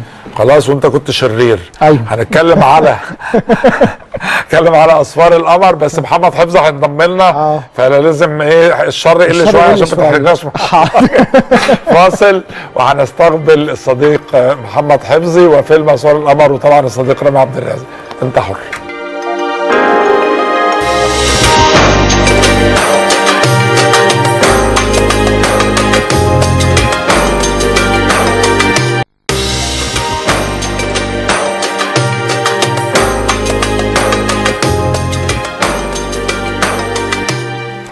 لازم اعترف يعني بالعرفان بالجميل أن يعني هؤلاء النساء الجميلات القديمات من كوكب النساء جايين لي في هذا الجو الصعب جدا جدا جدا. أنا برحب بالكاتبة الكبيرة الأستاذة الصحفيه منى سراج مؤلفة كتاب لأننا من كوكب النساء. منوره يا هانم. الله يخليك. إزاي حضرتك؟ ومعانا الكاتبة يمنى خطاب مؤلفة فيديو تسعيناتي. أهلا وسهلا. والأستاذة حنان الجوهري مؤلفة ظل حيطة. ابتدي بحضرتك. تحت أمرك. ابتدي الجو صعب قوي أنا عارف ويعني جايبينكم في جو برد وصعب وكل لا حاجة أنا, بتدن- أنا كنت بقول لهم جوه قلت له إحنا لازم نكون بنحبك جدا. الله يخليك. ومقتنعين بالبرنامج جدا عشان نيجي في الجو الله. يخليك. والله ده ده شرف ليا إن أنتم منوريني بجد وحياه لا ربنا في هذا الجو. حمالين اسيه أصلا. آه بس الستات والله والله بنقول كده والله طول الوقت بنقول كده. لسه امبارح كان معايا هنا مهندسة رائعة اسمها داليا السعداني وعاملة تخطيط لميدان التحرير وب... بقول لها أنا بفخر بالستات المصريات اللي شايلين البلد دي في جميع الاستحقاقات تلاقي الست المصرية أرجل من الراجل ده. بصراحة ده صحيح. فيعني أنا فعلا. موافقك تماما في إن الست فعلا شايلانا يعني منوره يا هانم. قولي لي حضرتك لأننا من كوكب النساء ده مجموعة مقالات ولا رواية ولا إيه بالظبط؟ هو ملوش شكل زي ما انت يعني لا هو رواية ولا هو اعترافات وهو شكل غريب يمكن عشان كده يعني حاجة جديدة تمام هي مجموعة رسائل أنا ببعتها لبنتي من أول ما يعني حبت لغاية ما اتجوزت آه. ومن خلال الرسائل دي أنت بت... بحكي قصة القصة بتاعتها وفي نفس الوقت بحكي قصتي أنا. تمام. وأنا بفتكر مواقف مرت في حياتي في حياتي أنا من خلال مواقف هي بتمر بيها آه. وبفتكر نفسي وبفتكرها وبشوف فرق الأجيال وحتة التحدي والصراع آه. وال... والمشاكل أنت عارف أنا دايما رأيي إن مفيش حاجة بتتغير في الحياة تمام الحب والغيرة والخيانة وال آه، ال... يعني المشاعر لا تتغير المشاعر لا تتغير لكن. طرق التعبير عنها ومعالجتها كمان آه. هي اللي بتتغير تمام. بس هو ده الكتاب ببساطة يعني هرجع لحضرتك من غير تاني. فزلكة ولا لا لا مفيش فزلكة ولا حاجة لا آه. خالص ما عندناش أي فزلكة هنا آه، يمنى فيديو تسعيناتي يعني من العنوان كده هل أنت شغالة على نوستالجيا التسعينيات مثلا؟ بالظبط بالظبط هو آه. الكتاب عبارة عن مجموعة قصصية آم، أغلبها مستوحاة من فترة طفولتي ومراهقتي اللي هي كانت في أواخر الثمانينات. وفي حقبة التسعينات كلها و... وهي نوع من يعني مع إنها حاجات شخصية جدا آه. وكلها ليها علاقة آه، بيا أنا وبعيلتي وبصحابي وجيراني بس هي فيها نوع من التوثيق شوية للجيل بتاعي لأنه تمام. إحنا كان عندنا كده نوع من ال يعني الوعي الجمعي إنه آه. كلنا عندنا تقريبا مرينا بنفس الحياة في الفترة دي. آه. اختيارات كانت محدودة و, و... تقول اختيارات محدودة في التسعينات امال إحنا كنا اختيارات على القناه الاولى القناه الثانية مقارنة.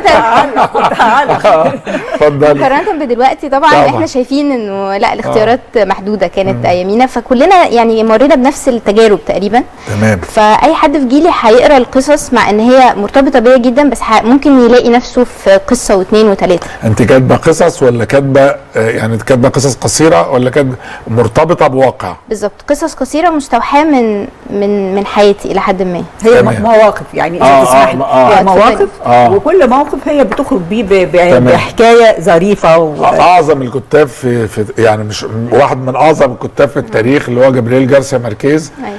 لما لما قبل ما يموت طرح كتاب اسمه أنت عيش لتحكي عبارة عن سيرته الذاتية.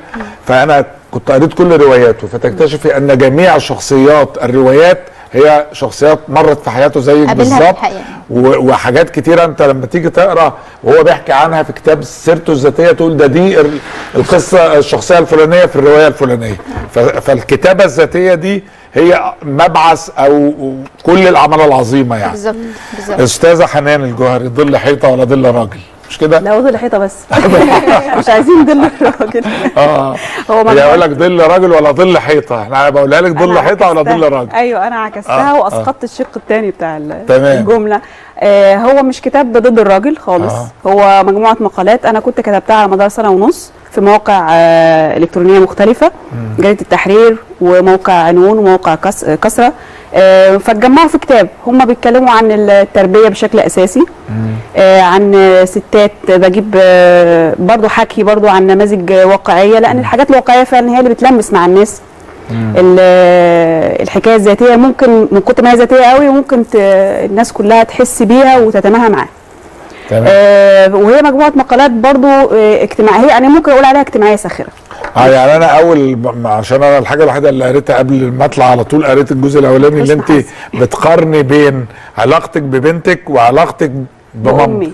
بأمك. بالظبط كده. آه. وهي فيها تماهي كتير جدا لأن أنا دلوقتي يعني كل الأشياء اللي أنا كنت بنتقدها في بنتي أنت ما بتعمليش زي ماما بتعملي بكتشف دلوقتي إن هي لما أمها بتسافر كان امها بقت موجودة فيها هي بنفس. الأشياء ونفس الحاجات وبتاع فأنا- مهما أكون حريصة إن أنا ما تطلعش زي بغصب عني آه،. بعمل اللي بعمل اللي ماما بتعمله فيها بعمله فيها آه بالظبط وبعد. أقول إيه ده أنا ما أعملش كده أنا مش عايزة أعملها فيها كده آه لكن في الآخر بتطلع إيه يعني بس هو كمان آه، لو أحب آه، يعني أضيف إضافة الحقيقة أنا كان ليا الحظ إن أنا قريت ال- الكتابين آه. آه. الجميل في شغلها كمان إن هي مستغلة الخلفية الصحفية بتاعتها. ففي أرقام كتير وفي إحصائيات آه. وفي معلومات آه. بتصيغها برضه بشكل حدوتة لذيذة آه. وهي بتقول إنها مقالة. أنا الحقيقة بقول إنها قصص قصيرة. آه، يعني آه. هي هي بتلعب في منطقة غريبه في يعني. منطقة ما بين ده وما بين ده.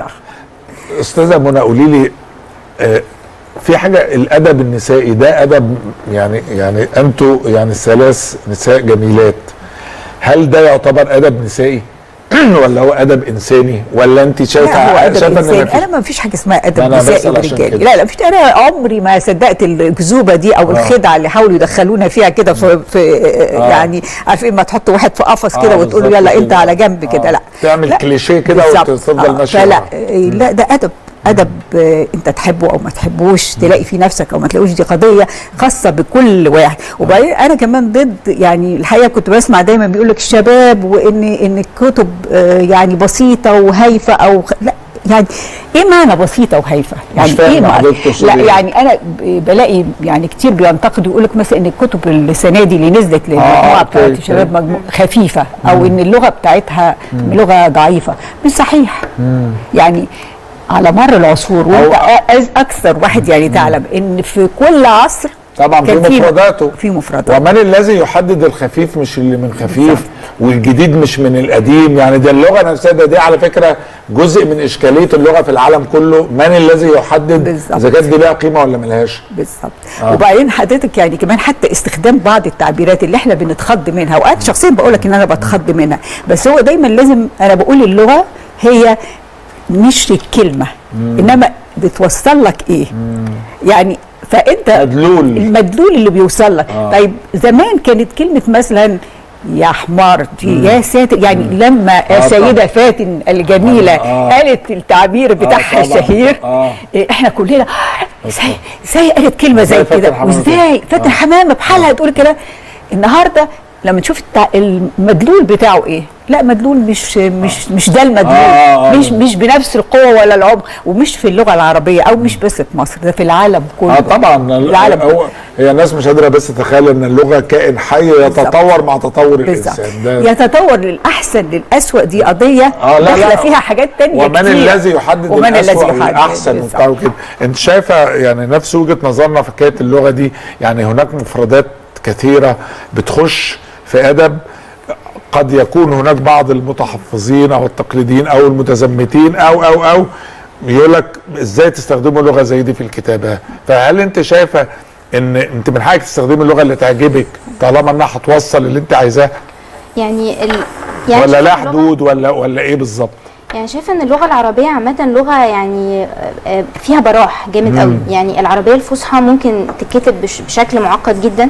ممكن تتكتب فصحى برضو بس بسيطة. ممكن تبقى فصحى وفيها جمل عامية زي ما موجود مثلا أنا أنا بكتب بالطريقة دي آه. بكتب لغة فصحى بسيطة بس فيها جمل عامية. وبيبقى الهدف منها في الآخر هو إن, إن أنت توصل ال- الإحساس نفسه. آه، مش بس. مش معلومة يعني إن إيه إيه أقرب كلمة تقدر توصل بيها الإحساس اللي, اللي الكاتب حاسه ويقدر المتلقي يوصل له بنفس ال- القدر. يعني أنت بتنقي ال ال الطريقة أو بتنقي الشكل أو بتنقي المفردات اللي تحس إن دي أحسن حاجة هتعبري بيها عن نفسك. بالظبط. أحسن طريقة للتعبير عن عن الحاجة اللي أنا آه، شايفاها دلوقتي أو عايزة أكتبها أو المعلومة اللي عايزة أوصلها. آه. هي أداة يعني آه. اللغة أداة مش مش مش مش ما فيهاش جمال في مش حد قانون ذاته. يعني. هي آه. هي أداة لتوصيل حاجة آه معينة. مش قانون. هو ده اللي أنا عايز أقوله لك. ده مش قانون. مش قانون. الكاتب هو اللي بيصيغ بيقدر يعمل قانونه الخاص جوه الكتاب بتاعه. آه. يعني أنا مثلا زي يومنا بكتب ب- ب- بعربيه بلغة عربية آه. وبحط لما بيبقى مثلا في كوت معين إن أنا عايزة أحطه بشكله زي ما هو بالشكل العام ده بيبقى أجمل لو لو عملته لغة عربية. آه. وفي حاجات بتبقى بتتقال بالعامية مثلا على لسان حد بقوم جاية قلبها فصحى عشان بتبقى مثلا بقلبها بشكل ساخر آه آه. يعني ساعات بحب أنا. بلعب آه. بلعب بين الاثنين آه. فمفيش حاجة اسمها قانون في اللغة. الكاتب هو اللي بيملك أدواته هو اللي يقدر يعمل اللي هو عاوزه. المهم أنا بوصل لإيه؟ بوصل لإيه مع اللي هيمسك الكتاب وهيقرأ أو اللي هيمسك المقال ويقرأ. أنت عارف اللي هم بيقولوه ده؟ يعني مع إنهم بيقولوه ببراءة. شوف البراءة الجميلة والبساطة اللي الجميله اللي بيقولوها. الحقيقة ده النقاد الفرنسيين الكبار جدا بيقولوه. يقول لك إن الكتابة هي أكت دمور. يعني فعل حب ما آه. بتعملش إلا من خلال مشاعرك. آه. وإنت بتختار الطريقة اللي توصل بيها ال الإحساس ده. ومش بأي وما تهتمش بأي قواعد أخرى. آه. يعني لازم توصل الإحساس الإحساس ده يوصل باللغة العامية يوصل باللغة الفصحى بيوصل بأي لغة. المهم إنك أنت توصل الإحساس. نجحت وأنت بتقرأ مثلا كتاب من الكتب دي إنك تحس بالشخصيات اللي قدامك أو تحس بالكاتب أو يبقى أنت هم نجحوا. آه. بأي شكل كان هم نجحوا استطعت أن تصل إلى القارئ اللي أنت كاتب الكتاب عشانه بأي طريقة هو ده اللي أنت عايز توصل له لأن طبعا هو على فكرة اللي إحنا بنقوله فيه ده إشكاليات طول الوقت موجودة. إشكاليات في اللغة كان هناك إشكالية كبيرة جدا بين نجيب محفوظ ويوسف إدريس إن نجيب محفوظ أيوة، أيوة. كان بيكتب وبيكتب الحوار باللغة العربية. أيوة. ويبقى يحاول يبقى اللغة العربية بسيطة في الحوار. ويوسف إدريس كان بيكتب الحوار بالعامية. فطول الوقت هذه الإشكالية موجودة على على مدار الت- التاريخ يعني. أيوة. أنت عايزة تقولي إيه من خلال كتابك؟ يعني أنت عايزه غير إنك تعبري عن نفسك. آه. لكن هل في حاجة معينة فكرة معينة عايزة توصليها؟ يعني هو الكتاب فيه فيه فيه تعبير عن عن إن إزاي الجيل بتاع الثمانينات والتسعينات اتكون. يعني هو تمام. هو الجيل اللي هو دلوقتي موجود على الساحة. إيه؟ مفردات التكوين اللي أنت شايفاها أثرت فيكي وطلعت فيها مسلسلات التلفزيون الأغاني دي اللي انت بتتكلمي عليها؟ بالظبط يعني التلفزيون عنصر أساسي جدا في تمام. في, في تكوين الجيل ده بالكامل آه آه الأغاني المسلسلات البرامج الإعلانات. يعني دلوقتي في كام إعلان بيطلع في التلفزيون؟ في ال- الوقت بتاعنا لا هم كانوا إعلان أو اتنين أو ثلاثة آه. بيتعيدوا على مدار اليوم. وخلاص وحافظينهم وحافظين طب إيه الأغاني المسلسلات اللي قولي لي المسلسلات والأغاني اللي أثرت فيكي قوي في التسعينات وأنا طبعا فاكرهم وغالبا هتلاقيني أنا كاتب أغاني من دي وكاتب أفلام من دي فقولوا لي أشوف أنا مؤثر ولا لأ يعني. يعني أنا بحب جدا الحقيقة أسامة أنور عكاشة يعني الله يرحمه طبعاً. وكل مسلسلاته في الفترة دي آه، أثرت فيا بشكل كبير آه. آه، أرابيسك آه، الرايه البيضاء شهد والدموع. آه، شهد والدموع يمكن شهد والدموع. يعني آه، سابق شوية سابق عليها. أقدم شوية آه لكن أنا قديمه آه آه وليالي الحلمية ليالي الحلمية. طبعا آه. الخمس الخمس أجزاء ليالي الحلمية ويعني أنا فاكرة كويس في ليالي الحلمية في. كان بيجي في رمضان آه، الساعة 8 بالليل لا يعني ده كان ميعاد مقدس العيلة كلها بتقعد قدام التلفزيون فاتحة القناة نازل الثانية الصلحدار وسليم تتفرج على البدري و... سليم البدري و... غانم. وسليمان غانم وعلي. وعلي. وعلي وزهرة و... يعني دي دي آه المسلسلات طبعا اسامه ركاشه هو من أسس لما يعرف بأدب التلفزيون صح، يعني عشان طبعاً. تبقى يعني ده. هو أعظم من كتب الدراما الله التلفزيونيه يرحمه في بالظبط. موجة حارة كمان ما كان كاتب كان كاتب رواية منخفض الهند آه والسن منخفض الهند المسلم اللي اتعمل موجه حاره من اتعملت آه من سنتين. آه آه. وانت عندك نفس الذكريات كده ولا عندك ذكريات أخرى؟ لا أنا تقريبا نفس الذكريات بس اقدم شوية. آه أنت يعني دخلت في الشهد ورا والدموع دخلت في. الشهد والدموع دخلت في الشهد والدموع. صح. بنتك حاسة إنها شخصية غير شخصيتك؟ لما كنت صغيرة ولا؟ أمي بتقول لي بتعمل حركاتك. ف... فدي مصيبة. ليه بس عايزاها- هتطلع كاتبة جميلة زيك أهو. عايزاها تبقى أحسن. هي دلوقتي كلنا. هي بترقص باليه آه. ودانها في المزيكا حلوة. آه. يعني بتسمع مزيكا بتعرف ترقص على الإيقاع بتاعها كويس. آه. فأنا حابة إن هي تبقى ما يعني فنانة شوية. أنا عاجبني قوي بترقص باليه وأنت فرحانة إنها بترقص باليه آه. صح؟ آه. وعايزاها تطلع باليرينا ولو ما طلعتش باليرينا عايزاها مثلا في فرقة فنون مسرحية في فرقة فنون قصدي فنون شعبية. شعبية وبتاع. آه يعني فرجوا بس علشان ما حدش يقول عشان تعرفوا ستات مصر وبيفكروا إزاي فكر تقدمي ليبرالي محترم. أنا بتكلم جد على هل أنت فكرة. بتشك لحظة إن مستقبل مصر مش هيبقى في إيد البنات؟ لا أنا متأكد هيبقى مت... أنا أنا إيماني أنا انه هيبقى في. ايد البنات أنا أنا بقول لك آه، في قصيدة أشرت لها امبارح لصلاح جاهين عن التطور الذي حدث للمرأة بعد 52 لما افتتحوا مسرح الباليه فبيقولوا بنت أم عبده بترقص باليه سلام يا جدع وجدتها لما كانت بتشوف سوارس اللي هو كان البتاع بتقع. يعني شوف الفرق بين الجدة وحفيدتها اللي بترقص باليه. فشوف التطور ده اللي أنتج لنا في الآخر إحنا معانا لا، كمان السيدات. يعني أنا مثلا في الدرس بتاع لا الباليه بلاقي- عليا. لا لا لا ما هو طبعا لا لا يعني إزاي؟ يوم درس الباليه ده أنا بروح بلاقي آه، ستات من مستويات مختلفة. آه. يعني مش مش كل المس... مش يعني كله كل... هاي كلاس مثلا أو آه. متوسطة. لا في في مثلا معانا ثلاثة أربعة كده من ال- من الطبقة الشعبية آه. بيودوا بناتهم فرحانين بيهم. الله. فأنا مبسوطة إن ممكن تكون ديت ثقافة ابتدت تدخل شوية للناس توصل للناس. يا جماعة الناس بتقول صوت المرأة عورة. وإحنا بنقول بنات مصر هرقصوا باليه. فاصل ونرجع لكم أنتوا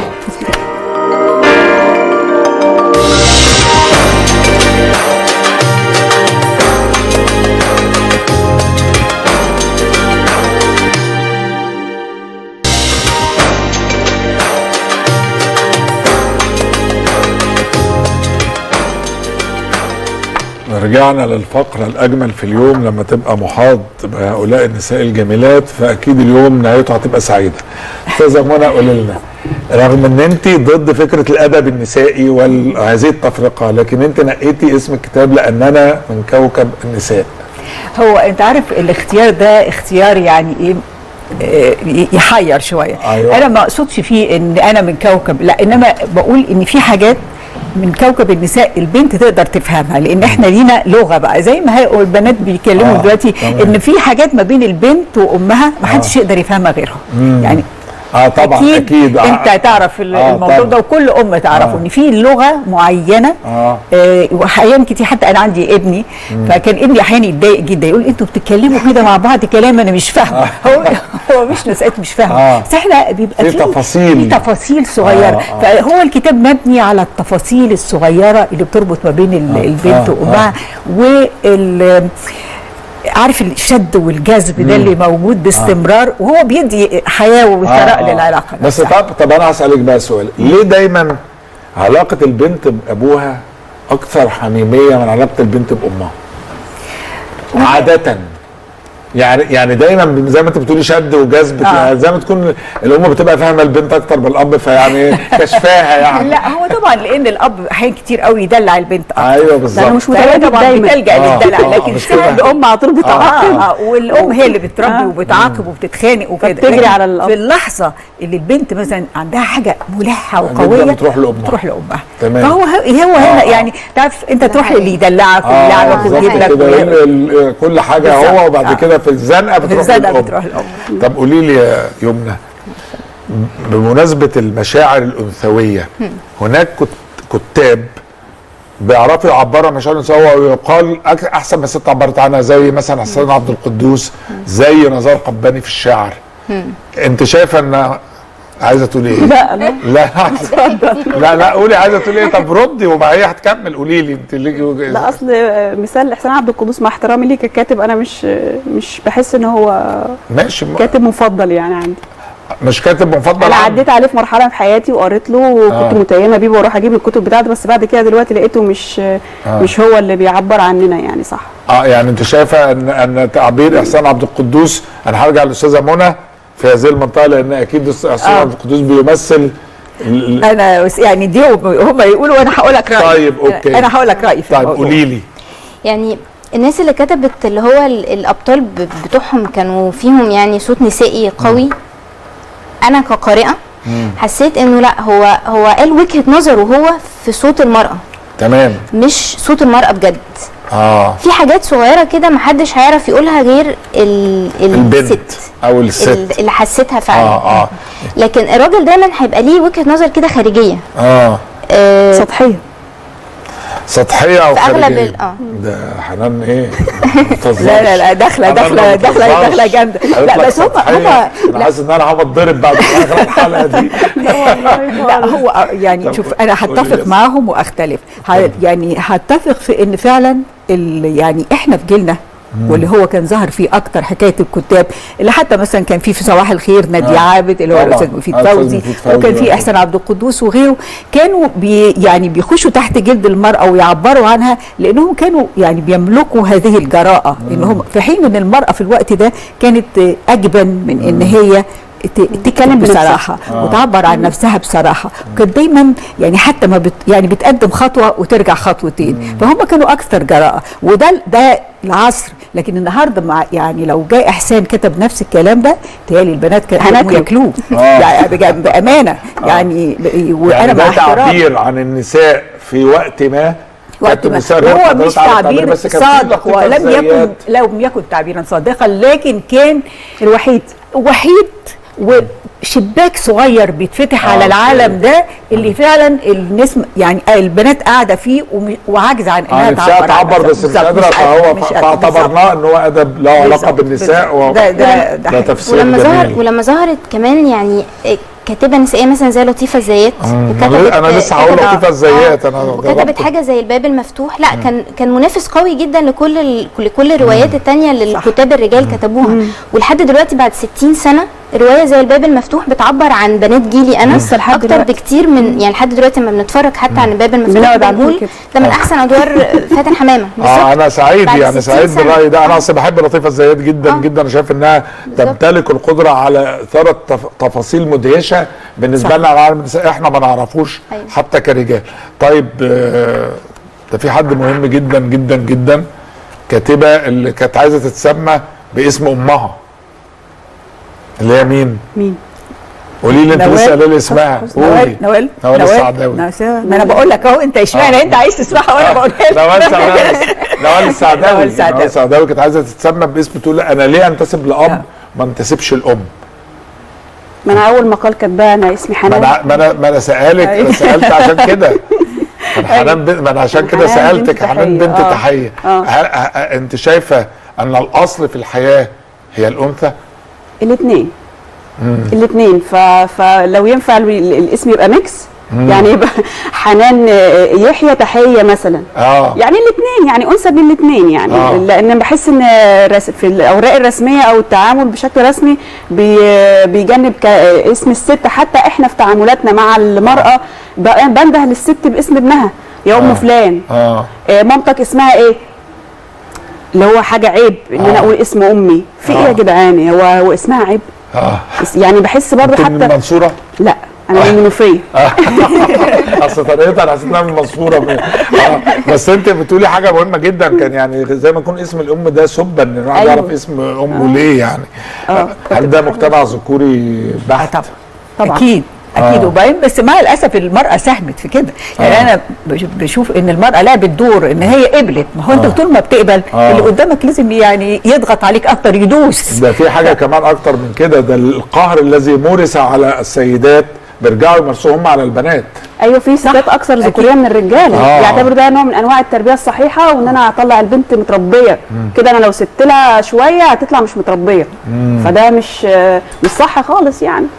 ربنا يكون في عونك. انت يا يمنى شايفة ان الست المصرية الرائعة اللي الواحد بيحطها فوق راسه اللي بتنزل تبيع الجبنة من الفلاحين في المدينة وترجع مش مش شايفة ان هذه السيدة مظلومة تماما وفي جميع الاستحق- الاستحقاقات التي حدثت في مصر في آخر أربع سنين الست كانت هي اللي قدام وهي اللي تحملت كل شيء.